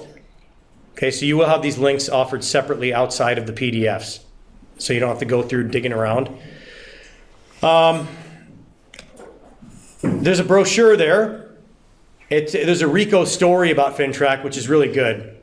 It's about this guy who didn't properly FINTRAC somebody and then he was held liable for something. It's, but the bottom line is this is a federal government program in Canada.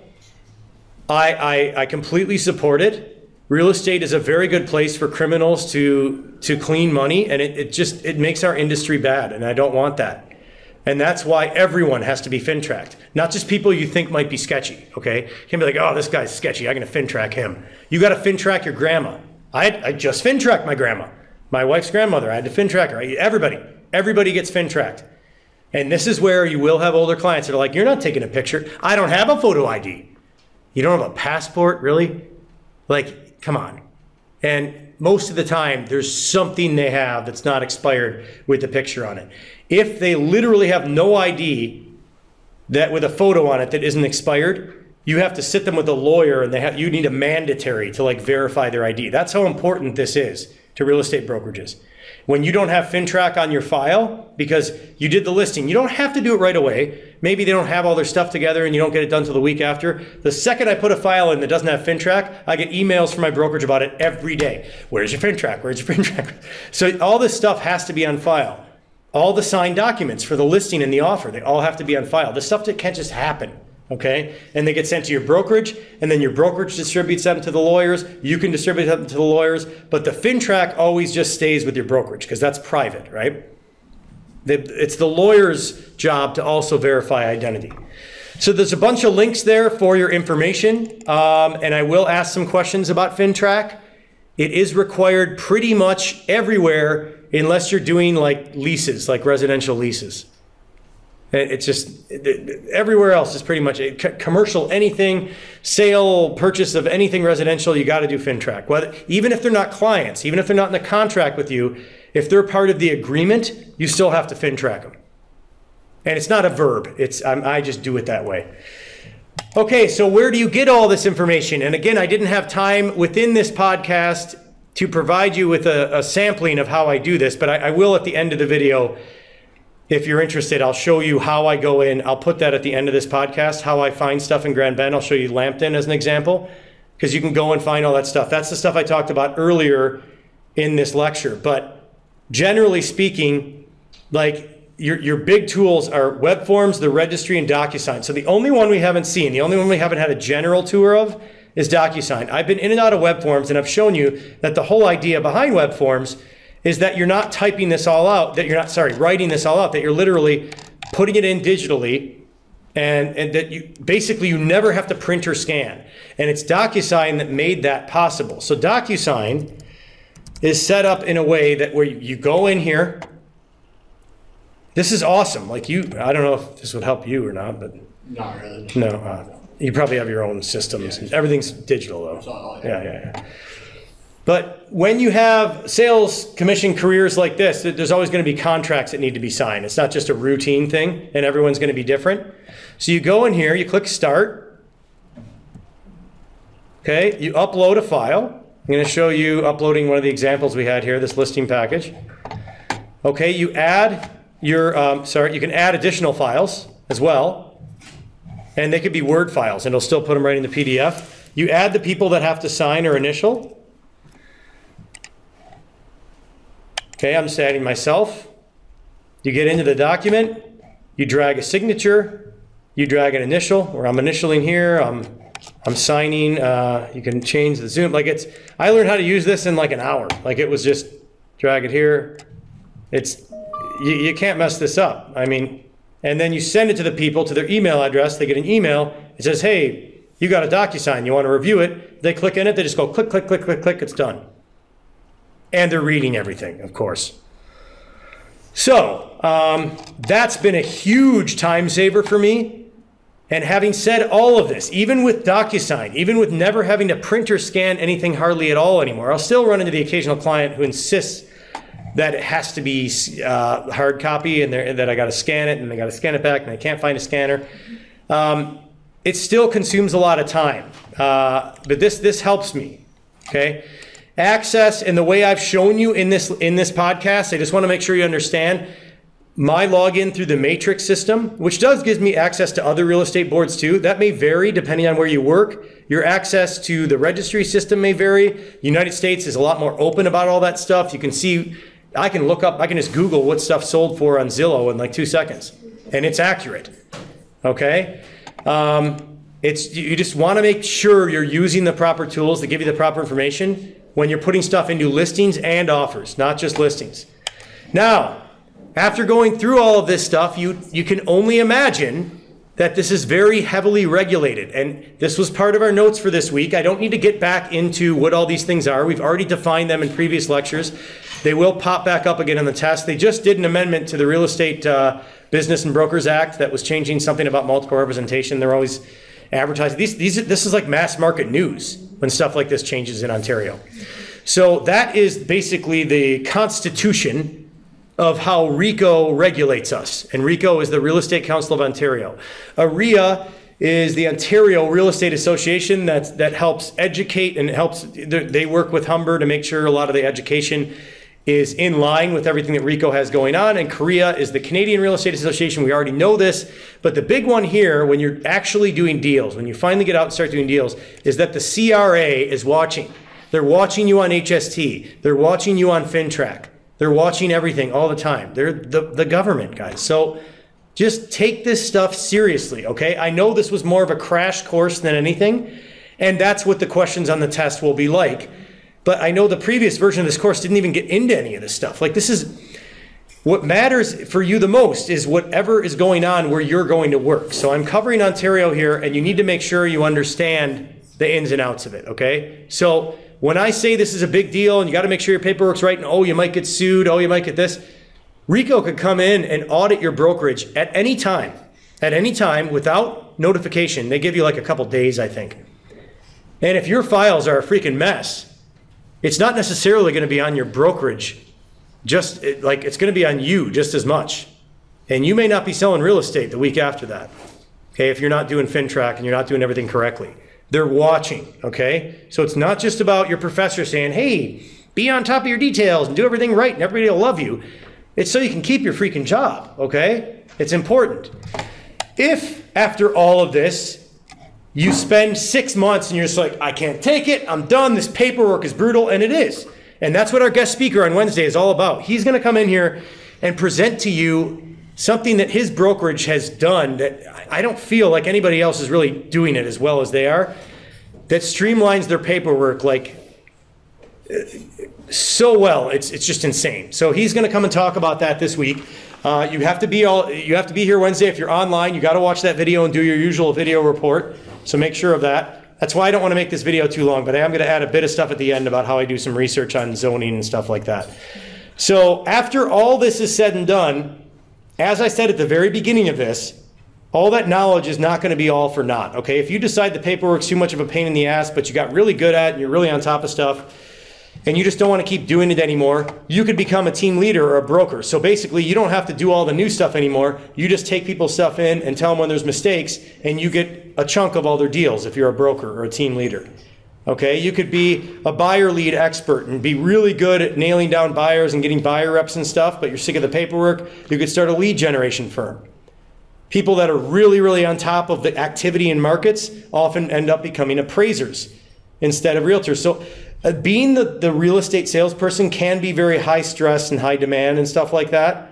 Um, appraisers, you know, you just, the, the work is there. As long as stuff is selling, the work is there. Mortgage brokers, we've talked to those guys, they're on the other end of things too. Um, you could get really into the house side of things and end up going the other direction with a lot less paperwork, becoming a home stager. But if you don't like paperwork, you're not going to like being a developer. Um, construction expert, you could be flipper, builder, contractor. You'd only have to fill out two or three of these agreements a year instead of 30 or 40, and you'd be making a lot of money flipping houses. But you, there's a little more risk involved there too, um, because you, you can get surprises.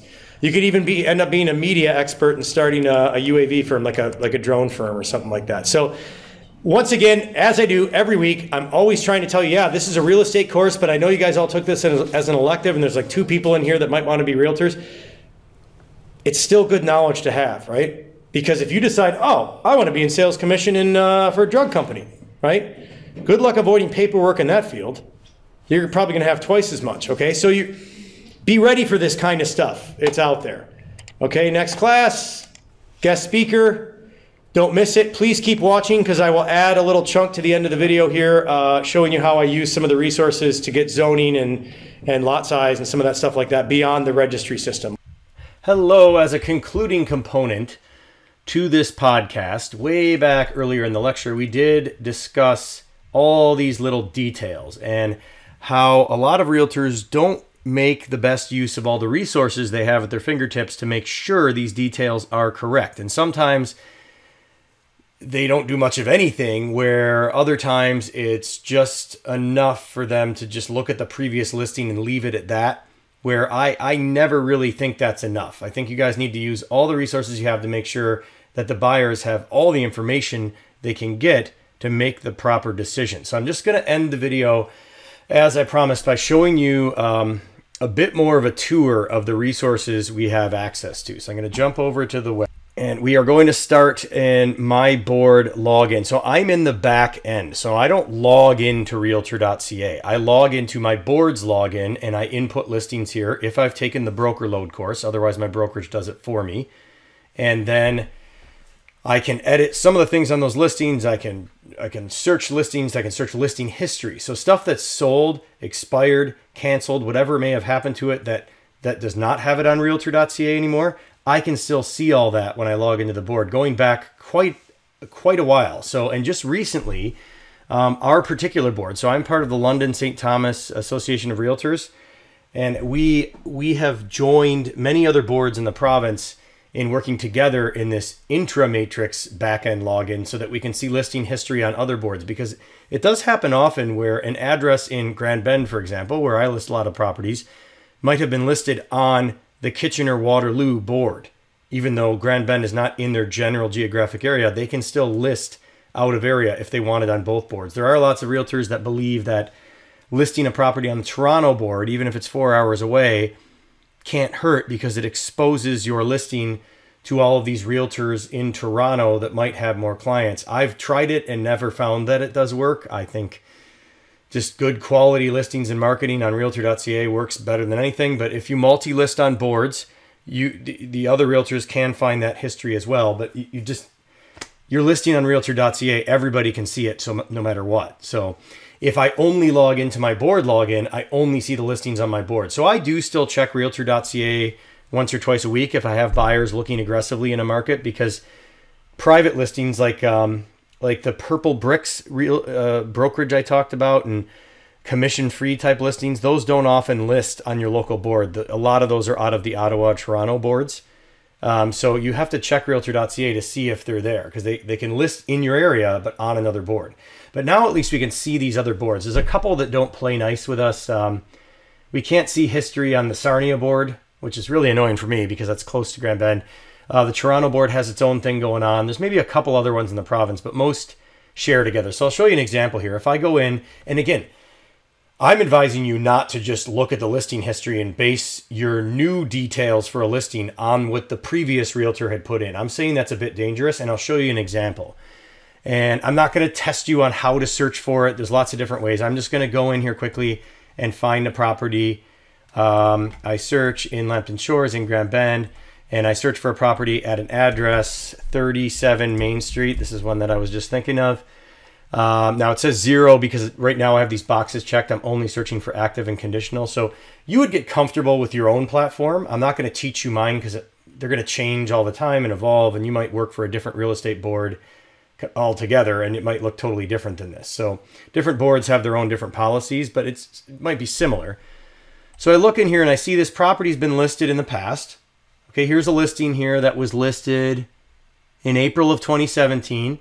And if I scroll down, it'll tell me when it expired. And I have the realtor's information. I'm, this is not a privacy thing like I had earlier in the video where I was showing owner information. And I'll explain that again in a second. It's, it's but don't contact the realtor, obviously. This is just showing you examples. Okay, this is this was a public listing on realtor.ca. Now it's expired but I can still see it in my board login. He does have the correct zoning, which is great. Um, a lot of realtors, as I mentioned, will just put COMM for commercial instead of actually looking up the zoning, which I will show you how to do here for this particular area. And every area will have a website where you can do that stuff. Uh, here's a an interesting thing going on though. Here's a listing for this address. Okay, it was listed a couple years ago, then it expired. It says it was built in 1982. If I go back and look at the older listing that was from the year before, same exact property, same exact photo, says it was built in 1966. Same exact realtor. So you need to be really careful um, with the details in these listings as a new listing agent. If you're getting a listing that was previously sold, it find out as much as you can from the owner, from actual registry, from proper paperwork, instead of just trusting that the realtor has put the right information in. So for residential listings like mine, for example, Okay, if I go, and I keep using the same example so I don't have to, uh, if you know the address, you should be able to just type it right in and it'll give you the full history. So here's, here's before I bought the house. You can see the photos were pretty bad and this, this was listed a while back. Um, I think it was actually listed by the previous realtor. Nope, no, he had it right. He had it that way. Okay, and if I go down, there would be room measurements in here. These these are not entirely accurate. It doesn't mean that realtor didn't measure them accurately. It's probably because I may have changed some of these rooms, right? So if I change the rooms, then I can't just go back to the previous listing and, assume all that stuff is right. Um, this is not right. My house was built in 1976. So if like I know this because I've looked this up in registry and I have files on my house and so if you look at my listing, it has the proper year, it has different room measurements, it has more rooms now. Um, and and the listings we have the ability to do now have much more information in them. Uh, so you can see my listings a lot more jam packed full of information, but it's just it's looking at the same address listed by two different realtors and you're getting completely different information and not necessarily because the other realtor didn't have the right information because the house has actually changed. So you need to be aware of that too.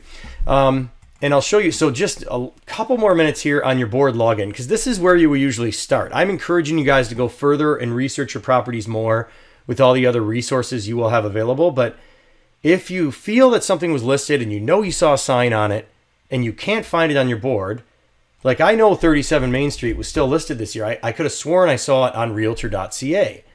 Okay, but when I look it up here, I don't see any listing in Grand Bend other than the ones that, that are like two years old. If I go into our intra-connected login, oops, let me go back here. It does that sometimes when you don't do it from the home page. Always quirks. So if I go into our interconnected login, I now am going to look up that address at a bunch of different boards. So when I type in 37 Main here, just the address, you never put the street or avenue or boulevard, you just put the address. Probably a lot of stuff is going to come up. Okay, yeah, and a fair amount did. But I do see at the top here, um, it doesn't show a municipality, which is funny because when I was looking for this earlier, I was I was in cross property, and I'm gonna say it was a sale transaction. I'm gonna uncheck this stuff because I just don't know. And I looked in Lambton and I couldn't find it. But when I went here and chose Grand Bend, which is still there in my history, and put in 37 Main, Okay, it did come up. So there's listing history of 37 Main here three times. And the last time it listed, it did actually sell. And you can see here, they don't even have to list the age. So certain boards have different requirements. And this realtor was able to skip over a few things. And I, I don't know if this was actually still listed when he sold it. So this might be what we call a sold posting, which is totally acceptable. You just, you, you're in an agreement with the seller that if it does sell, you're still allowed to post it. So it shows in your history and you can show it to your clients. Look how much stuff I've sold. I don't usually do that, but that's, I, I, have spoken with this realtor before. He's a great guy. Um, he did eventually get this property sold. Took him a while, but it's done. It's not his fault. Commercial's tough. It's not his fault. Um, I don't want to make it seem like I'm by any means slamming this guy. He's, he's been great. He was always really good to me when I wanted to show it. I thought there was a lot of potential there. I told everybody I showed it to, it's got to be worth over 550. They kept lowballing, lowballing, lowballing, and look what his seller got. So he proved them all wrong because at the end of the day, there is a lot of development and some stuff going on in Grand Bend right now, and they ended up getting over asking price because it's a double lot. It's a big piece of land and it's in the middle of a lot of activity right now in Grand Bend. And it just took a, a bit to get the right buyer. And when the right buyer came along, lo and behold, there was another buyer. I've seen it before. Stuff sits listed for three or four years, and then and then it goes to multiple offers with two different buyers, maybe even more. So they did great by turning down all the crappy offers I brought them with buyers. Actually, congratulations to these guys if they ever see this video for some reason, which they probably won't. But it, this is just an example to show you how much information you can get just from your board, but that you have to be careful because we saw those differences in years. And I'm not knocking this realtor for that either. I bet one side of this property, the one building was built in the 60s and the other side was built in the 80s. Although I, I've seen the other side that he says was 60s. I think it's more like 20s, but yeah, whatever. it's, you, this is why we have errors and omissions. However, if you want the accurate information, okay, you would jump back to your regular board login homepage, and from there you will have access to the registry system. So you have, and, and of course, the web form system, which we did cover earlier in the lecture. And this, this will be updated again since my video where we're going to the new web forms. Um, it's, it's constantly updated, but it's a, it's a platform that allows you to fill in the paperwork without having to print it out and type it out. This just, yeah, everything's digitized now. But this is a very useful resource, which I've already clicked into over here and I've gone to my house again so I don't keep reusing the same stuff. Once again, it's not, it, it's not private uh, per se who owns a house and when they bought it and what they paid for it. It is a matter of public record. But as a licensed realtor, I am not to publicly just share that information without the permission of the owners. Um, if you ever wanted to get some of that and you weren't a licensed realtor, as I explained, you would simply go to your local registry office, pay a few bucks for the record, and it's yours. And this is why a lot of people, even with residential property, they put their properties into a trust or a private LLC or some type of corporation that doesn't trigger HST. Remember, we don't want that happening um, because they they want that level of privacy. But as a general rule, who own the people that own public property is actually a private property. Sorry, the people that own private property is actually a matter of public record, which is an interesting rule, and it's the same way in the states. But in Canada, as licensed realtors, we are not to just reveal that information. So I've I've covered it up again here, so you don't see who my buyers were. That's really, you know, you can go pay for that if you want to see that. Uh, it doesn't matter.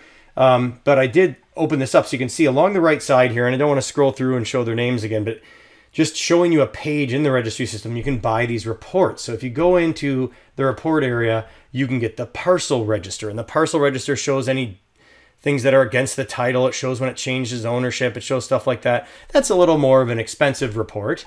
Um, if I scroll down a bit more, and again, you don't see the owner's names here. You can get some measurements that are somewhat accurate. I talked about that earlier in the video. There's that tax roll number that has to go in your listing. Um, the PIN number, which is a little lower down, and it'll be next to their name, so I'm not going to go there. That has to go in your listing. But this stuff is really useful. So I have this kind of stuff available, okay, and that's not even the right address, 9621. Weird. Um, Oh, because it's a double lot. It probably yeah. So and I purchased this for my property, and it's I don't need to show it to you. It's a really simple document. It's just a PDF, and it says year built, square footage, what kind of heat it has, all this kind of stuff. It's eight bucks, okay, and you can get different types of reports. Um, so if you go here, view other assessment reports. There's all these different levels of reports, and they show you what they include. Here, I'll show you the samples here. So you can view a sample. This is the simplest one. It just shows you kind of what type of house it is. It'll give you the actual zoning if you can't seem to find it on the zoning map. Um, that doesn't make well. That's that's not the zoning. I, this is just an example of one in Markham Town, whatever whatever that is. Year built. So this gives you the proper year built.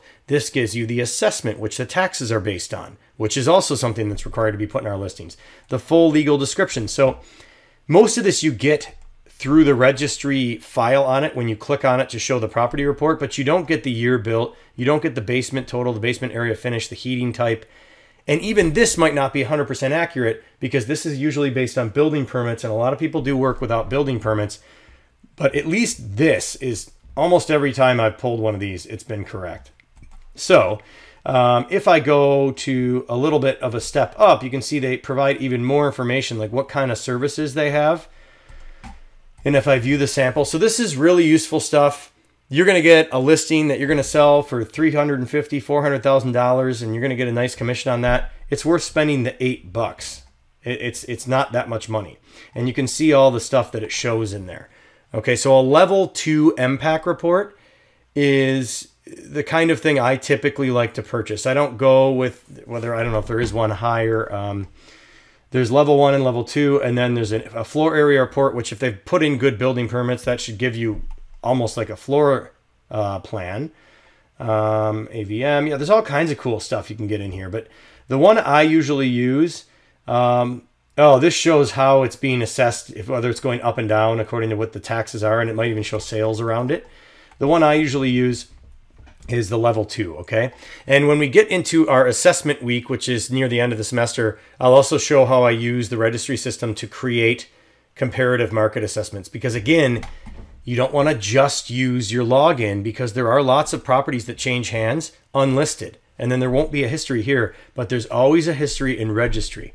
Okay, and you also have to be careful in registry because some of the stuff transfers for like a dollar, just one family member to another. So we'll talk about that during the assessment week, but this is a place to get more information.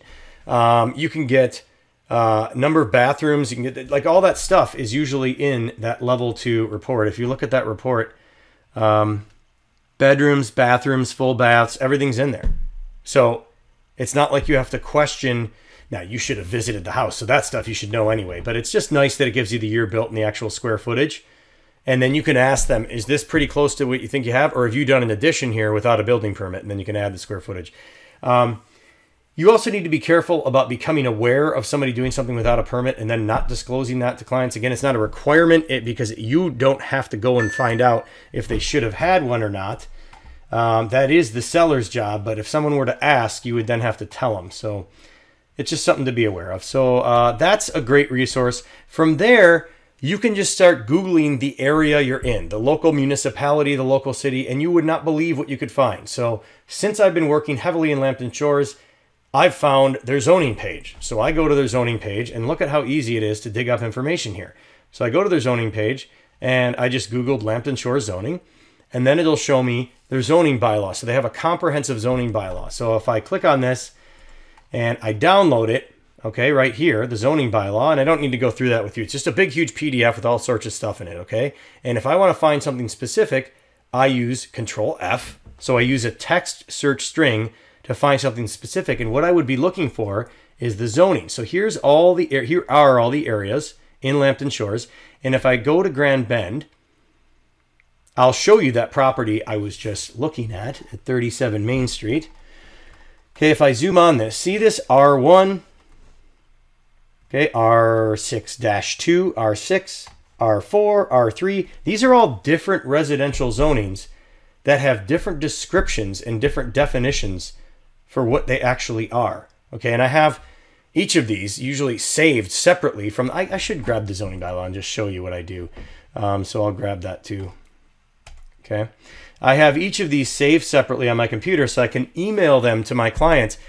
Very few realtors do that. Like my clients really appreciate them when they, especially when they're looking at commercial, they say, okay, C10 zoning what are my setbacks, right? When they ask me that question, I already know what that means. I didn't know what that meant until I went through some of my real estate classes, but now I do, and I, am much more familiar with it now. C10 zoning is a commercial zoning downtown that's like row commercial, like a bunch of buildings in a row, like on Richmond Row, like we have in London, where there are zero setbacks, meaning you don't have to build away from the lot line. You can literally build with zero lot lines, 100% coverage. That's very rare in small towns, but you usually see it just on the main street.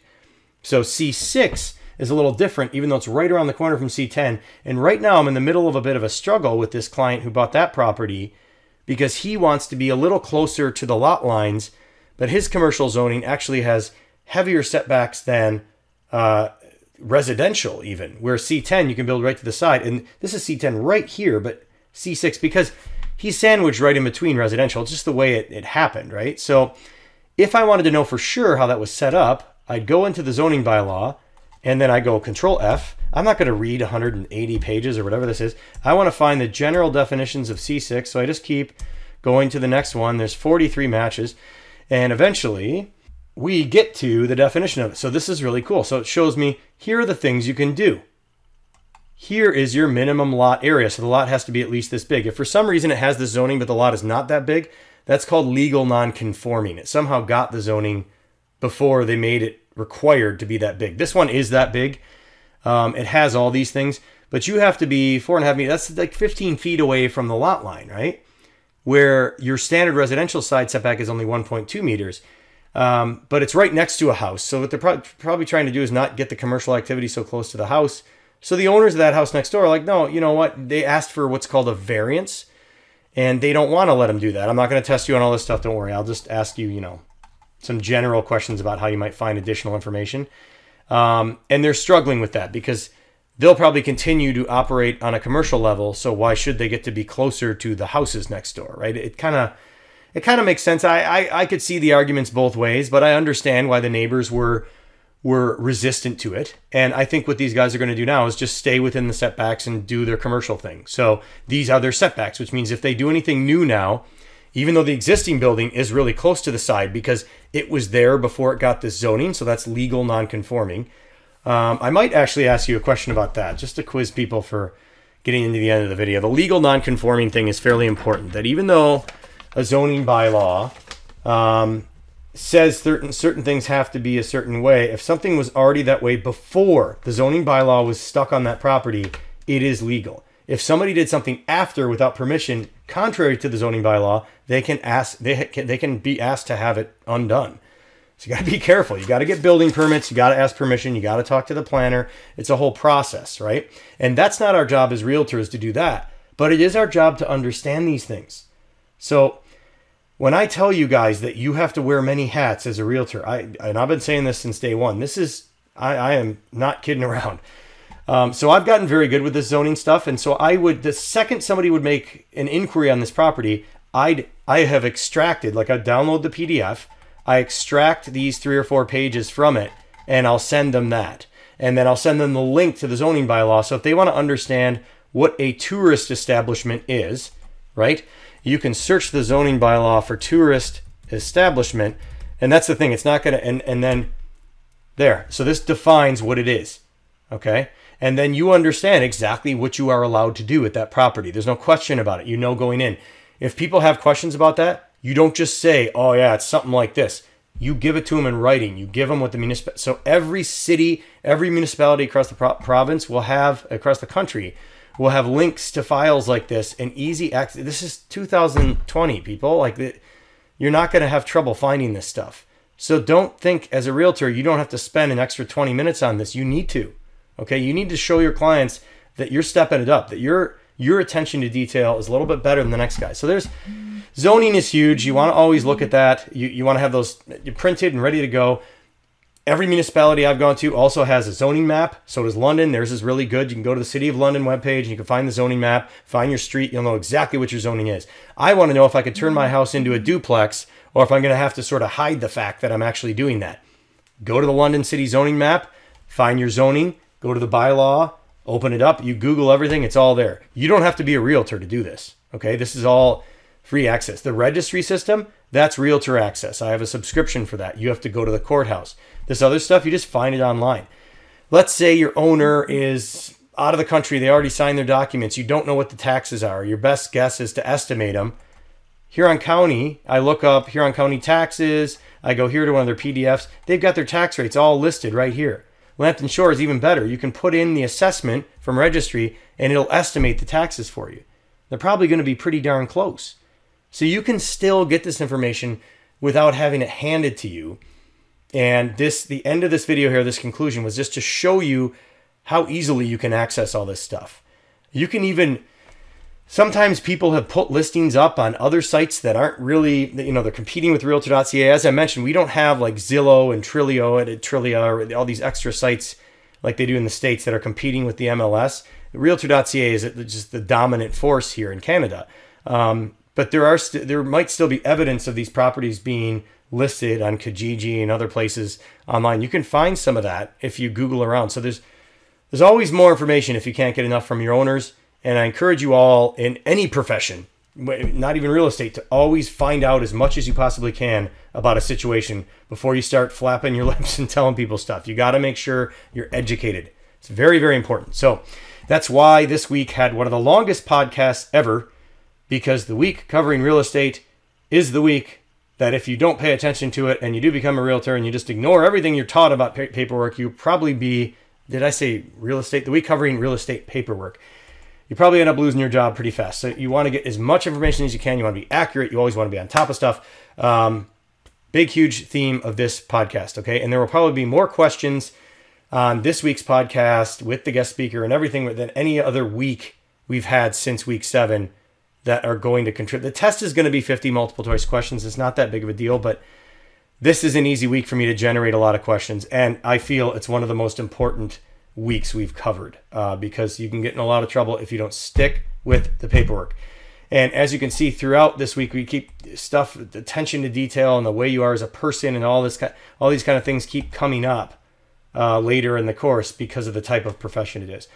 Uh, so that's it for the extension on the video, which ended up being another 25 minutes. Holy cow, it's going to be a long one this week. Uh, if you actually watched it to the end, I cannot thank you enough. Again, don't forget, I'll tell you this at the end. You can always speed up my voice if you want these things to be a little more quick.